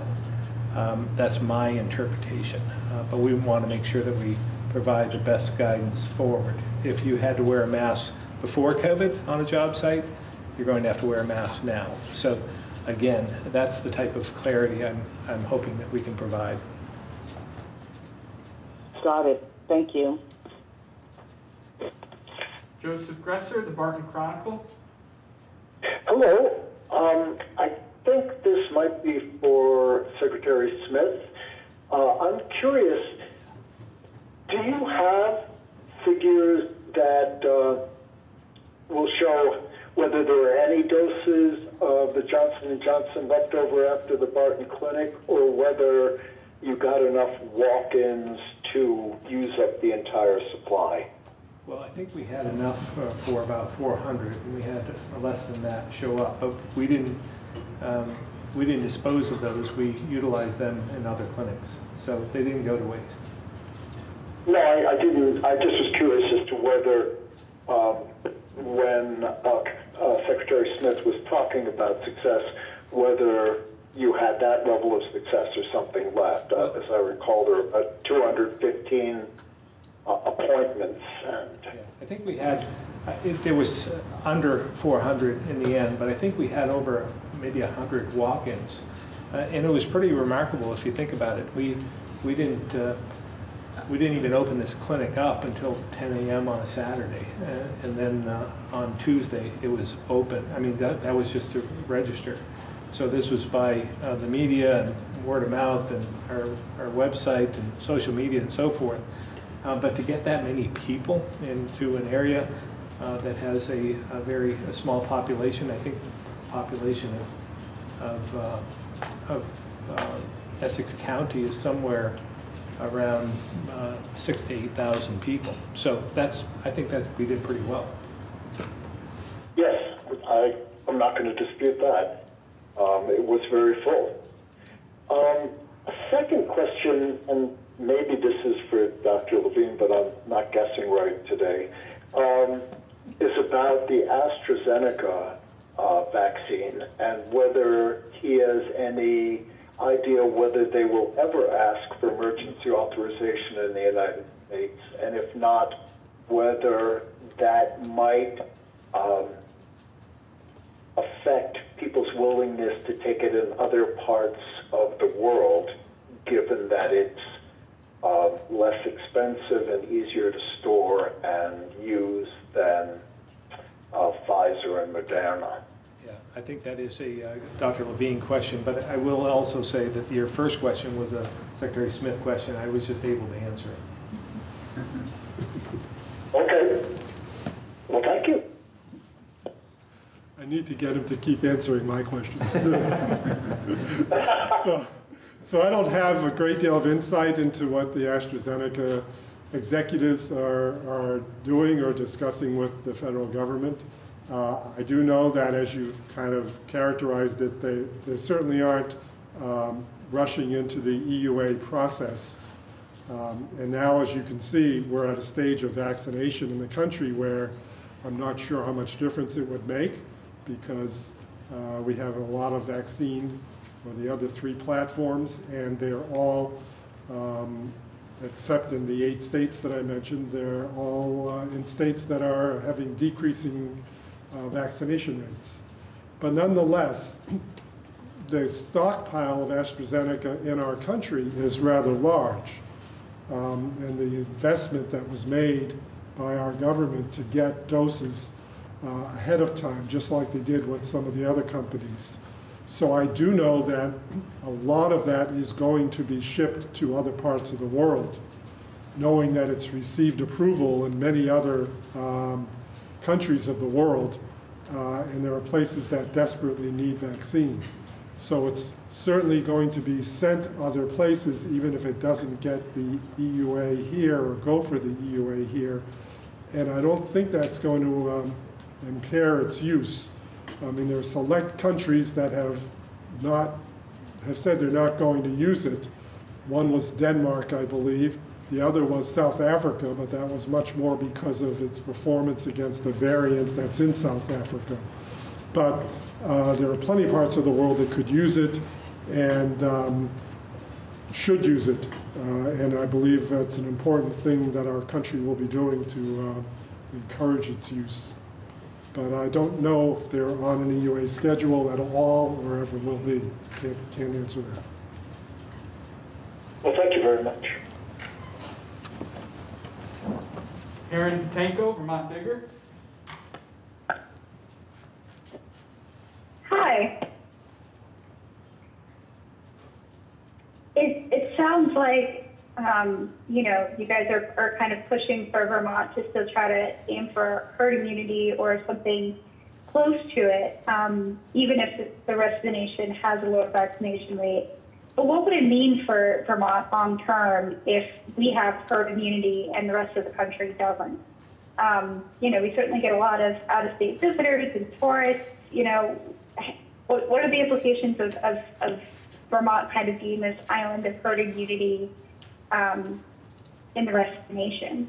Yeah, I think it makes it even all that more imperative for us to protect ourselves, uh, you know, and we can do that pretty easily by receiving the vaccination. So if we can protect ourselves, uh, the more people we can get to do that, uh, the better off we're going to be. Because as you said, uh, we are affected by uh, a number of high population centers around us. We, we want tourism. Uh, we need it here in the state. So um, but it be, you know, again, imperative uh, that we protect ourselves in order to do that. Dr. Levine? Yeah, I couldn't agree more. Uh, the other factor that is, um, if we protect ourselves to that degree, there will be very little um, virus transmission within the state of Vermont. There'll be some, because there will be everywhere. Um, it's still believed that this is going to become sort of an endemic virus where it doesn't, doesn't disappear, but it's around. Uh, so even if somebody from a less well vaccinated area comes into the state uh, with the virus, it isn't going to go very far. And while it may impact that individual who had it in the first place, its ability to be transmitted across the population of Vermont um, is going to be limited and we're still going to be very protected from that. So we shouldn't see a lot of variant strains coming in and then proliferating, because the only way they proliferate is to have unvaccinated people to be transmitted to. So that would be the goal. So uh, it shouldn't deter us from trying to achieve our own goals in Vermont of trying to have as much community immunity as possible. Uh, And that, and that's the course we're headed on. Uh, So that's, that's how I look at that. All right. Um, so New Jersey recently announced this um, rather viral "Get a Shot and Get a Beer" uh, campaign, where people who are vaccinated can get free beer from certain breweries, and it reminded me of a, um, you know, planned idea from long ago that people might be able to get a free creemee coupon from getting vaccinated. Whatever happened to that? Oh, that, that idea is alive and well, um, and we're just figuring out where to deploy it, actually. Um, I believe the number is in the 10,000 creemee coupon range. So um, stay tuned. Uh, Those will be available. Um, I, I think they're not being used as a uh, incentive so much, uh, more a reward, I would say, um, because um, well, I mean, everybody wants a creemee, especially on a hot spring or summer day. But the reality is, I don't think that's going to make the difference in someone's decision. But at the same time, why shouldn't they get rewarded if they happen to be there? So we're going to be able to um, deploy those, and we just have to figure out how to operationalize that. I don't know. I mean, I college students really like that free food. I I, I, could definitely see it as an incentive rather than a reward. But uh, yeah, thank you. Tim McQuiston, Vermont Business Magazine. Hi, Governor. You mentioned earlier in this press conference about the potential veto session, and I was wondering about the uh, the budget bill. Basically, they've they've cut in half the the amount of ARPA funding at, at this moment, at this speaking anyway. Uh, they're willing to spend this year, and also they- they've also cut back some of your plans. But would would that, assuming that it was just cut in half and they're saving half for next year, would that work for you, or is, No, or do you really need? yeah. There's some other factors um, that are showstoppers in some respect for me. Um, One of them uh, being both the Senate and the House uh, took a portion of the rooms and meals tax that we had dedicated for water quality. And they are um, supplementing ARPA money for that six points uh, on the, uh, something we agreed to uh, two years ago is, it was, uh, uh, it was, uh, I guess, well-received um, by the EPA, by CLF, by everyone. We had struggled with that, as you might remember. We struggled for years trying to agree on a funding source. I think the legislature had wanted to create a new, I mean, I remember all the different initiatives to create a new tax in order to, to satisfy uh, the, the uh, water quality um, um, issue that we were facing. So um, I kept saying that we had enough capacity within the system to do that. And we finally came to agreement on that and, and used uh, uh, six points of the, uh, of the rooms and meals uh, to do that. Well, now they're taking that away for, they're saying, five years, and they're going to uh, supplement ARPA money, which doesn't get us, from my perspective, doesn't get us any further on water quality because you're taking away uh, the money source. You're just using um, some creative counting to do it uh, and to free up uh, other money uh, for other purposes. So uh, that um, that's something uh, that I couldn't agree to, and I'm still looking. You know, we have enough money in the system. As I said before, back in January, we had a $200 million surplus. And uh, there were a number of initiatives, one-time initiatives that I put forward in the budget that I presented. And uh, since then, uh, the surplus has grown. It looks like it's going to be uh, to the magnitude maybe 300, could get up to 400 million uh, in the end. So there's no reason to play this shell game.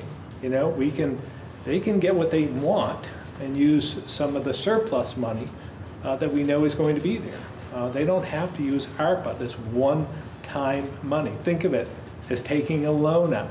Uh, you wouldn't use loan money uh, to, to fulfill budgetary, ongoing budgetary concerns. Uh, and this is the, the way I look at this. This is a once-in-a-lifetime opportunity for us. We can't blow this. We can't squander it. We have to, to have a plan in place, and, and I haven't seen a plan either. I mean, I put forth a plan on how I would spend the billion dollars over the next four years, and uh, haven't seen anything from the legislature yet. So they moved in the right direction. Uh, They did provide for more transparency, which I appreciate, Um, and they did reduce some of the, the money that was spent for ARPA. Uh, But, but again, we haven't even received the, um, the instructions from the Treasury yet either, nor have we received the money. So uh, we have a long ways to go. Uh, I'm hopeful the House uh, will take a- another look at this and see how we can all get what we need out of this budget, because I, I think there's enough money there. It's just a question of how we're spending that money. Well, they have to move pretty quickly at this point, right? I mean, what, what, what would be the deadline for the, you know, the House, the Conference Committee to come through with a plan that would be acceptable? Well, they don't, there's, I mean, they can stay there as long as they want to get this right. Or they can come back in, in June, and we'll, we'll take care of it then. Okay, thank you, Governor. Devin Bates, Local 22, Local 44. Yeah, I had a question for Dr. Levine. Um, I'm seeing that Pfizer plans to file for full U.S. approval, um, and the differences there would allow them to market directly to consumers, and it could make the booster shots available to the public later on without needing to go through the emergency authorization again. Um, my question is, as you know, we're talking about trying to reduce vaccine hesitancy, um, even though that's to a lesser degree here in Vermont. Uh, do you think a full authorization would move the needle on that at all and convince some people who are on the fence? And are there any other aspects of this full authorization process that you're watching? Yes, so you're talking about going from an EUA to an approval state. I assume, right? Yes. Um, So, you know, I I frankly don't think within Vermont, there is that kind of resistance to vaccination that would be determined by people thinking that an EUA is an experimental kind of thing, uh, because uh, we've educated a lot, and EUA actually still requires a lot of uh, check marks on a lot of boxes um, with regard to effectiveness and safety. So this is about that time in the natural cycle when you would hope that approval could occur because of the number of months the vaccine's been in use, and more importantly, the number of months follow-up from the original studies where the vaccine's been in use. So I don't think that's going to tip the balance in Vermont. I think Vermonters are, um, uh, have been accepting of all of the science that we provided them to this point in time. With regard to the booster, you know, a booster still requires an approval process. It's not, you know, uh, Dr. Woodcock from, who's the interim FDA uh, commissioner, has been careful to say it's nothing like what they went through to get the first approval. Um, and it's, uh, it- it's, it's fairly um, brisk and doesn't require a lot of uh, pre-work, if you will uh, especially because the booster would either be extremely similar, if not the same as the original, or it would, if it's the mRNA vaccine, perhaps be adjusted a little to account for one or two of the variant strains that might be present at the time. So that process is going to be uh, very quick, and um, frankly, um, by the time anyone would require a booster, which would be a minimum of six months after the first shot, and most people are talking further, nine, 12 months. Um, I think a lot of these vaccines will have already been formally approved uh, just by the passage of time uh, being appropriate for their approval to come up. All right, and then a question for Secretary Smith as well. I was wondering if you could just uh, kind of dive into a little bit what we're seeing through the first uh, few days or weeks at these walk-in clinics and some of the metrics you're looking for as um, the state decides where to expand this to other ways um, that this can be used to, to reach people in rural locations, et cetera. Um, what have you seen in the early stages of this, and how does it um, bode for sort of the future of walk-ins? I think it bodes well for the future of walk-ins. We saw this uh, success in Barton. As you know, we are going to be using walk-ins exclusively on the drive-ins uh, at the speedways. So I think what we're going to see is um, a lot of success in the areas of walk-ins. When we have opportunities in a, in a clinic now, we are planning for walk-ins. Now, not all clinics have walk-ins at this moment, but I think in the future you'll see most clinics will have walk-ins. And for example, all the college um, lists that I had, which is quite extensive and, and throughout the state, we've made uh, provisions for walk-ins there and as well um, in Essex County. Now we'll be using Johnson & Johnson in Essex County, so it's one shot. We don't have to worry about the second shot in, uh, in Essex County. So, you know, these sort of things that we're uh, talking about, I think, um, are, are, the future, bringing the vaccine to the people um, instead of these, uh, you know, through these various venues that we've been talking about. I, I'm pretty excited about it, and I think, uh, I think the demographic that we're looking at, um, those that are looking for convenience and ease, I think really it, this this option is attractive to to them. Great, thank you. I, I just wanted to, to add, um, you know, Barton was eye-opening for us. Uh, we had put that in, into play in a short period of time. And um, we decided to try uh, the, the drive-in, walk-in type approach uh, as well because we were using the Johnson & Johnson, uh, the, uh, the vaccine uh, that is like a one-and-done type of vaccination process. So it lent itself well. we were trying to experiment a bit we knew that they were um, Northeast Kingdom, Essex, and Orleans uh, wasn't meeting our expectations in terms of vaccination rate. Uh, and I do realize that Barton is in Orleans, but, but it's right on the edge of Essex County. So we were looking for a population center uh, that was easy to get to. Uh, and uh, and and was we wanted to make it easy for people not to have to go through any uh, type of challenges in signing up to see if, uh, if that would uh, give us a positive response. So it did, uh, and that's why we decided to move to this next phase of trying everything we possibly can, get as creative as possible in order to get more shots in arms. So uh, that was just an experiment uh, that we decided to, uh, to try out, and it was successful, and we're going to replicate that um, throughout the state. Thank you. Howard, VPR. excuse me, uh, Eric, Times Argus, and then we'll go to you, Howard. Yes, this is a, likely a question for Dr. Levine. We heard from a reader in Rutland who noticed the cases in Rutland County aren't falling quite as quickly as they are in much of the rest of the state. Seems like the county is getting vaccinated. They're at 60, 61% vaccines. So the reader wants to know what is going on in Rutland that they haven't experienced a similar significant favorable decline. Sure. Um, I'm looking at Commissioner Pieciak because I do not believe they're experiencing an increase. increase this week, but so it's just this one week. So they had one week with a slight increase.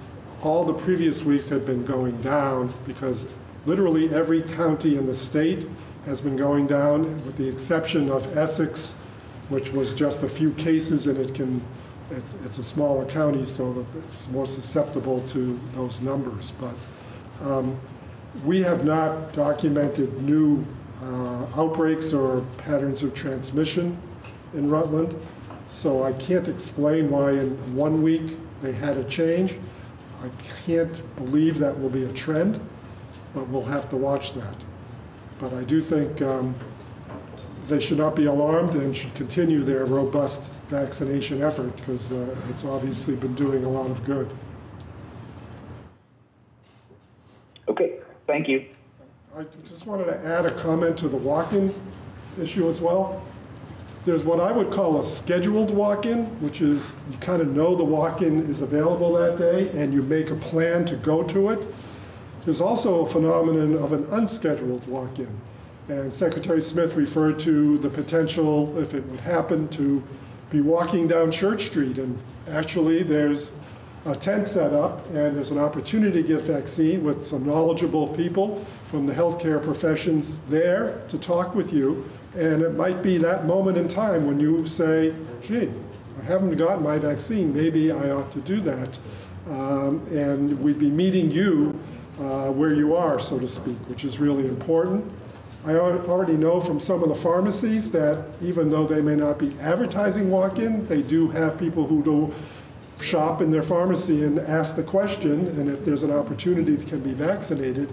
Uh, so that would be what I would call an unscheduled opportunity for a walk-in too. So keep in mind that there's a lot of ways for people to get vaccine when it works for them and when they happen to be ready, both in their mindset and where they happen to be.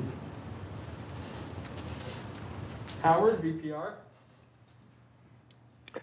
Yeah, thank you. Um, I think this is for Secretary Smith. We got a uh, note from a listener, and he was wondering uh, when volunteers will be allowed into correctional facilities. He said a lot of volunteers take part in recovery programs, and he was wondering um, if that's going to be something that's going to be used up soon.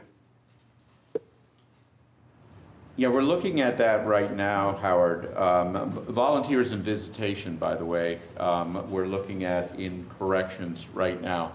One of the things that you, as um, I don't have the the statistics, the exact statistics right in front of me, but we've had out of our population, we've had about 800 that have been at least uh, one dose of vaccination, and 400 and some odd that have refused we want to get we want to circle back on those refusals and see if we can get the uh, population um, more vaccinated in the inmate population as well. So we're looking at um, you know trying to raise the vaccination level within the correctional facility um, more, and then talking about volunteers and uh, visitation uh, once we feel comfortable with the vaccination or working through who, who's been vaccinated and who hasn't in order to reestablish the volunteer and, um, and uh, the visitation policy. We just want to be safe on this one. Those numbers you just gave me, that was for inmates or is that staff as well? And is staffing uh, an issue as well? Uh, Staff is about 80% vaccinated. Um, in terms of inmates, the, the numbers I gave you were inmates. Um, uh, Okay. th- those that are, and I can get you, Howard, the exact number, but roughly, it's out of the 1,200 that are incarcerated, um, we have about an 800, 400 split. 800 have taken the vaccine, 400 uh, have refused. So do you think and hope this is weeks away or is this probably maybe more month or months away? I, I would say probably by the time we get everybody vaccinated, which will be at the end of May, uh, with their second shot, I would say it's probably about a month away. Okay. Um, and thank you very much. Another question, I'm wondering um, if you're looking, the last person asked the question about the different parts of the state that um, the vac- vaccination rates are higher and lower. Um, there have been national reports about red state, blue state, different vaccination rates. I'm wondering if someone can speak about what we do know about the parts of the state um, that are not getting vaccinated. What are you hearing? What have we learned, um, if anything, demographically speaking? I think demographically speaking, we're talking about Essex County um, as, as where we've been focused. And demographically, I mean, it's a very rural um, county. As the governor said, there's about 6,000 people in that county, very spread out. Um, so what we are doing now is, and by the way, they have a border with New Hampshire up there as well. So there's opportunities. You know, I talked about Lancaster um, in terms of New Hampshire at the fair. We, we have an agreement in Colebrook with the medical center there. Um, so we're trying to get those numbers up, but I, you know, I haven't attributed it to red blue. I've attributed it so far to rural and uh, trying to make sure that we do this sort of barnstorming idea for the second time. The first time we had great success with the barnstorming. The, se- the second time, we're hoping to have the same sort of success um, through, uh, through this barnstorming method. Um, Anybody else want to discuss? Um, Is that okay, Howard? Yeah, that sounds great. Thank you so much. Thanks. Avery Powell, WCAX. We've seen a few vaccination clinics specifically for the homeless population. Are there any plans to do more of those? Oh, absolutely. Yeah, uh, Secretary Smith. Yes, we, uh, we are targeting, over the next two weeks, we'll be um, make, uh, really making a concerted effort, um, two to three weeks, making a concerted effort to uh, vaccinate the homeless population, mostly with Johnson & Johnson. We're looking at Johnson & Johnson because it's one shot and done uh, as we move forward. But you'll see us moving forward over the next several weeks on uh, vaccinating the homeless. Is there any way to measure how a percentage of how many of them have been vaccinated so far? I will, you know, of course, we have the people that are in the um, general assistance program, the hotel motel program. I'll take a look and see if I can find that, Avery, and see if there's any information on that. And see if we can, if we've tracked that. Great, thank you. Michael, Vermont Digger.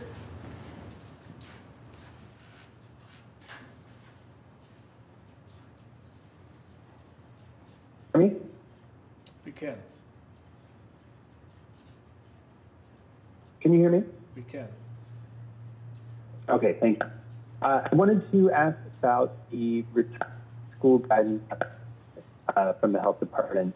Uh, back in the fall, uh, we kind of heard this referred to as the runny nose rule uh, that children be uh, school or childcare uh, for any cold symptoms, uh, including. Now, as we're talking about uh, return to school full time, uh, getting parents back to force, I wondered if there was any plan to revisit that guidance. I think you're, um, I think we get the flavor. You're cutting in and out. Do you want Secretary French first and then Dr. Levine? Secretary French, anything from you, and then we'll turn over to Dr. Levine. Yeah, thanks. I think I caught most of that. Um, yeah, I think, you know, I would just say that um, there's, there's subtlety, obviously, to the question, and um, I would just point to the track record schools have had. I mean, it's almost been a year now our schools have been open and uh, having to navigate these issues and having gotten through, uh, you know, the winter months and cold and flu season and so forth. I think, I think they've worked out uh, that subtlety in cooperation with the health department. And, um, you know, I'm, I'm optimistic now that uh, case counts are coming down. Schools are doing their best to expand in person. And, um, you know, so I, I think they figured that out. And uh, I'm optimistic in the next couple of weeks that we'll see more in person learning.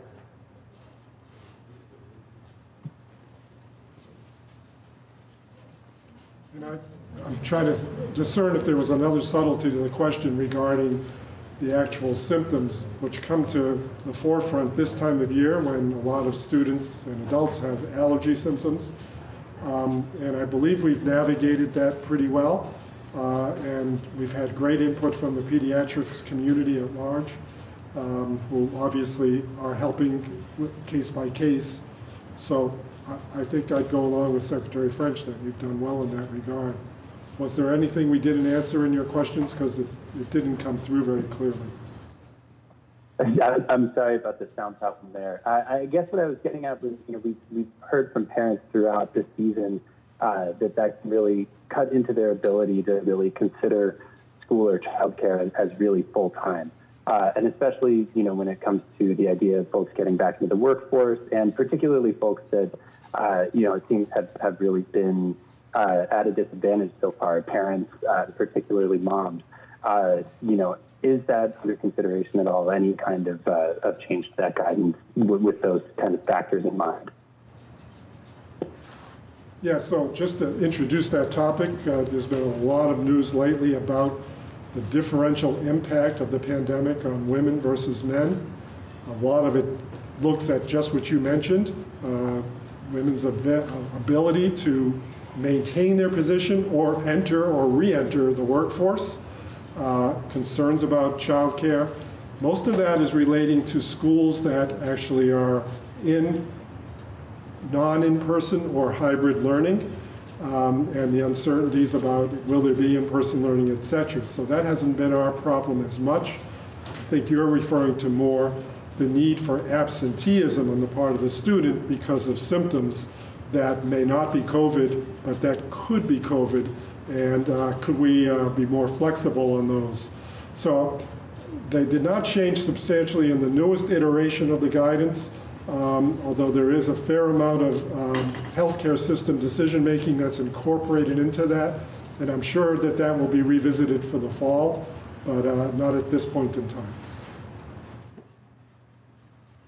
Thank you. Guy Page, Chronicle of the Vermont State House.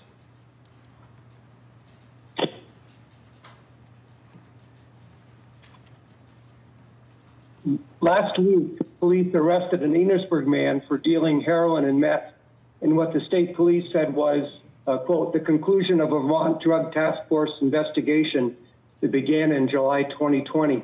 Uh, this man was out on probation when he allegedly committed the crime, and after his arrest, he was cited to appear in court. Was not returned to prison. And I'm wondering, uh, and my readers are wondering, is this a police tactic to perhaps lead them to other dealers? Is it just an example of the trend towards decarceration, or is it something else? And in any event, what would you say to Vermonters who don't think that heroin dealers on probation should just be released with a date to appear in court? I may refer to uh, Commissioner Schirling on this one. Good afternoon. Uh, thanks for the question. Uh, over the years, the options available uh, to the front end of the criminal justice system, in particular law enforcement, have become more limited in terms of the rules of arrest and when folks can go uh, to jail and, and otherwise. Um, I'm not sure whether this particular instance is an example of that, but I make that observation more generally. Um, we don't discuss investigative tactics, so if there's another um, another motivation behind that. It's not something uh, we would be openly um, discussing. Uh, in terms of the, the, the general uh, approach to folks who are dealing heroin, methamphetamine, uh, and drugs that are clearly destructive uh, in our communities is something that uh, the Drug Task Force takes incredibly seriously, and I trust that uh, whatever tactics they're employing are uh, the ones that have been best deemed to uh, bring a case to successful conclusion. So, when you said at the beginning options are, have become more limited, what do you mean by that? So this could take a while to unpack, but generally, um, the ability to incarcerate someone pre-trial has been limited substantially by uh, new statutes that have been passed. Uh, again, whether this is specific to that, I'd have to look into the specific circumstances, but I think you will see generally uh, more and more people released on citations uh, rather than being uh, lodged initially, and uh, a much larger cross section of people that are not detained pre-trial, regardless of their um, offense or alleged offense. You concerned about that as far as just general public safety?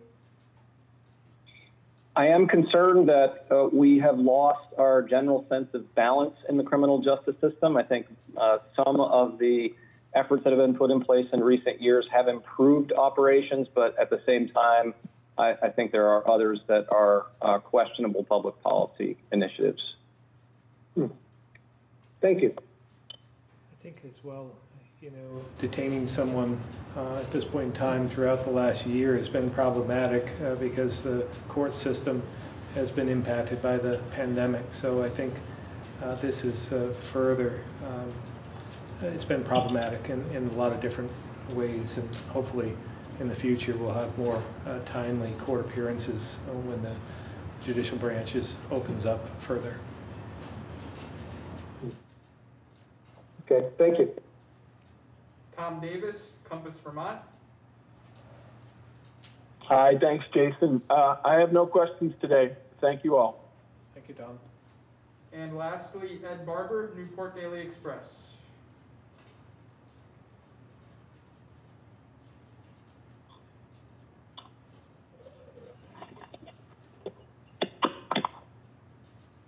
I have uh, two questions. One of them I want to follow up with the issue of uh, Department of Corrections.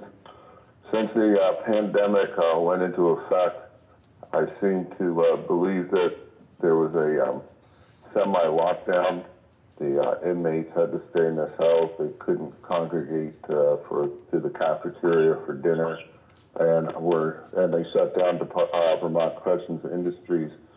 Um, with a number of people have been vaccinated now, are you going to be um, loosening up some of those restrictions, um, especially in light of the fact that this also creates uh, mental health issues or exacerbates uh, current issues?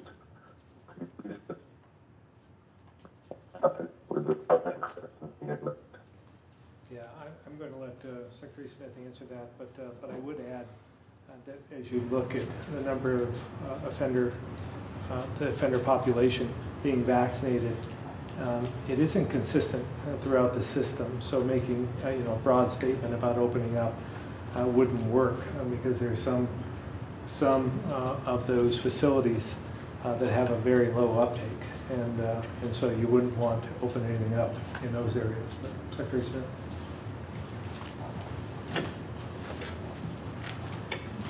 Ed, thanks for the question. As you, um, as you, COVID protocol requires that if we have anything um, where we have cases within, within the facility, um, that we go to a lockdown status. We don't have any, but, any facility right now in a full lockdown status. We have them in a modified lockdown status, which is the standard sort of during COVID-19. I think um, we are discussing how we're going to be opening up the various, as I mentioned before, how we're going to be opening up the various um, uh, activities within uh, the Department of Corrections. That can be uh, anything from visitation to, um, as you mentioned, the, the industries aspect of it up in the Newport facility in terms of how we move forward.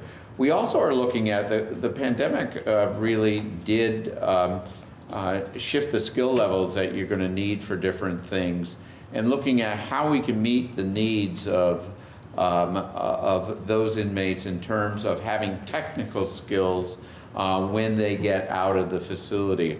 All of that is being reviewed right now as I talk to Howard about. We're looking at you know, visitation, we're looking at volunteers, we're looking at um, how we sort of bring the, in, in, the industrial industries um, aspect of corrections back up to speed, and including work crews for the summer. Uh, how do we bring that all up to speed? We do have to get better vaccination rates uh, in uh, the Department of Corrections among inmates. Uh, and we, we, we, we are putting in place a, a, revisiting program, I guess, is to those that have declined vaccination, trying to find out why and trying to answer any of their questions that they, they may have along the way. So um, I would say, Ed, stay tuned. Thanks. And the other question, I did tell the uh, former uh, operator of the UPS store in Newport that was um, defying the, the, mask mandate. His attorney is uh, back in court um, with a unique argument to suggest that, that the state of emergency should have been stopped when the legislature reconvened. That was one of several arguments that was being made. That is being heard before a judge. Uh, do you have any comment on what the legality of continuing the state of emergency when the legislature is in session? I, I would only add that uh, we're on solid ground. We, we feel that we have um, the obligation and the right uh, to impose these restrictions during this time of emergency. So we, we feel we're on solid ground there. Very good. Thank you very much. Okay. Well, thank you very much. A good. You too. In closing, I just want to uh, note that it's Teacher Appreciation Week. And National Teacher Day. So I want to send my thanks to the teachers out there uh, who have been working under very difficult circumstances over the last 14 months to do what's best for our kids. So with that, uh, don't forget to sign up for your vaccine. Consider the Mother's Day gift, and we'll see you again on Friday.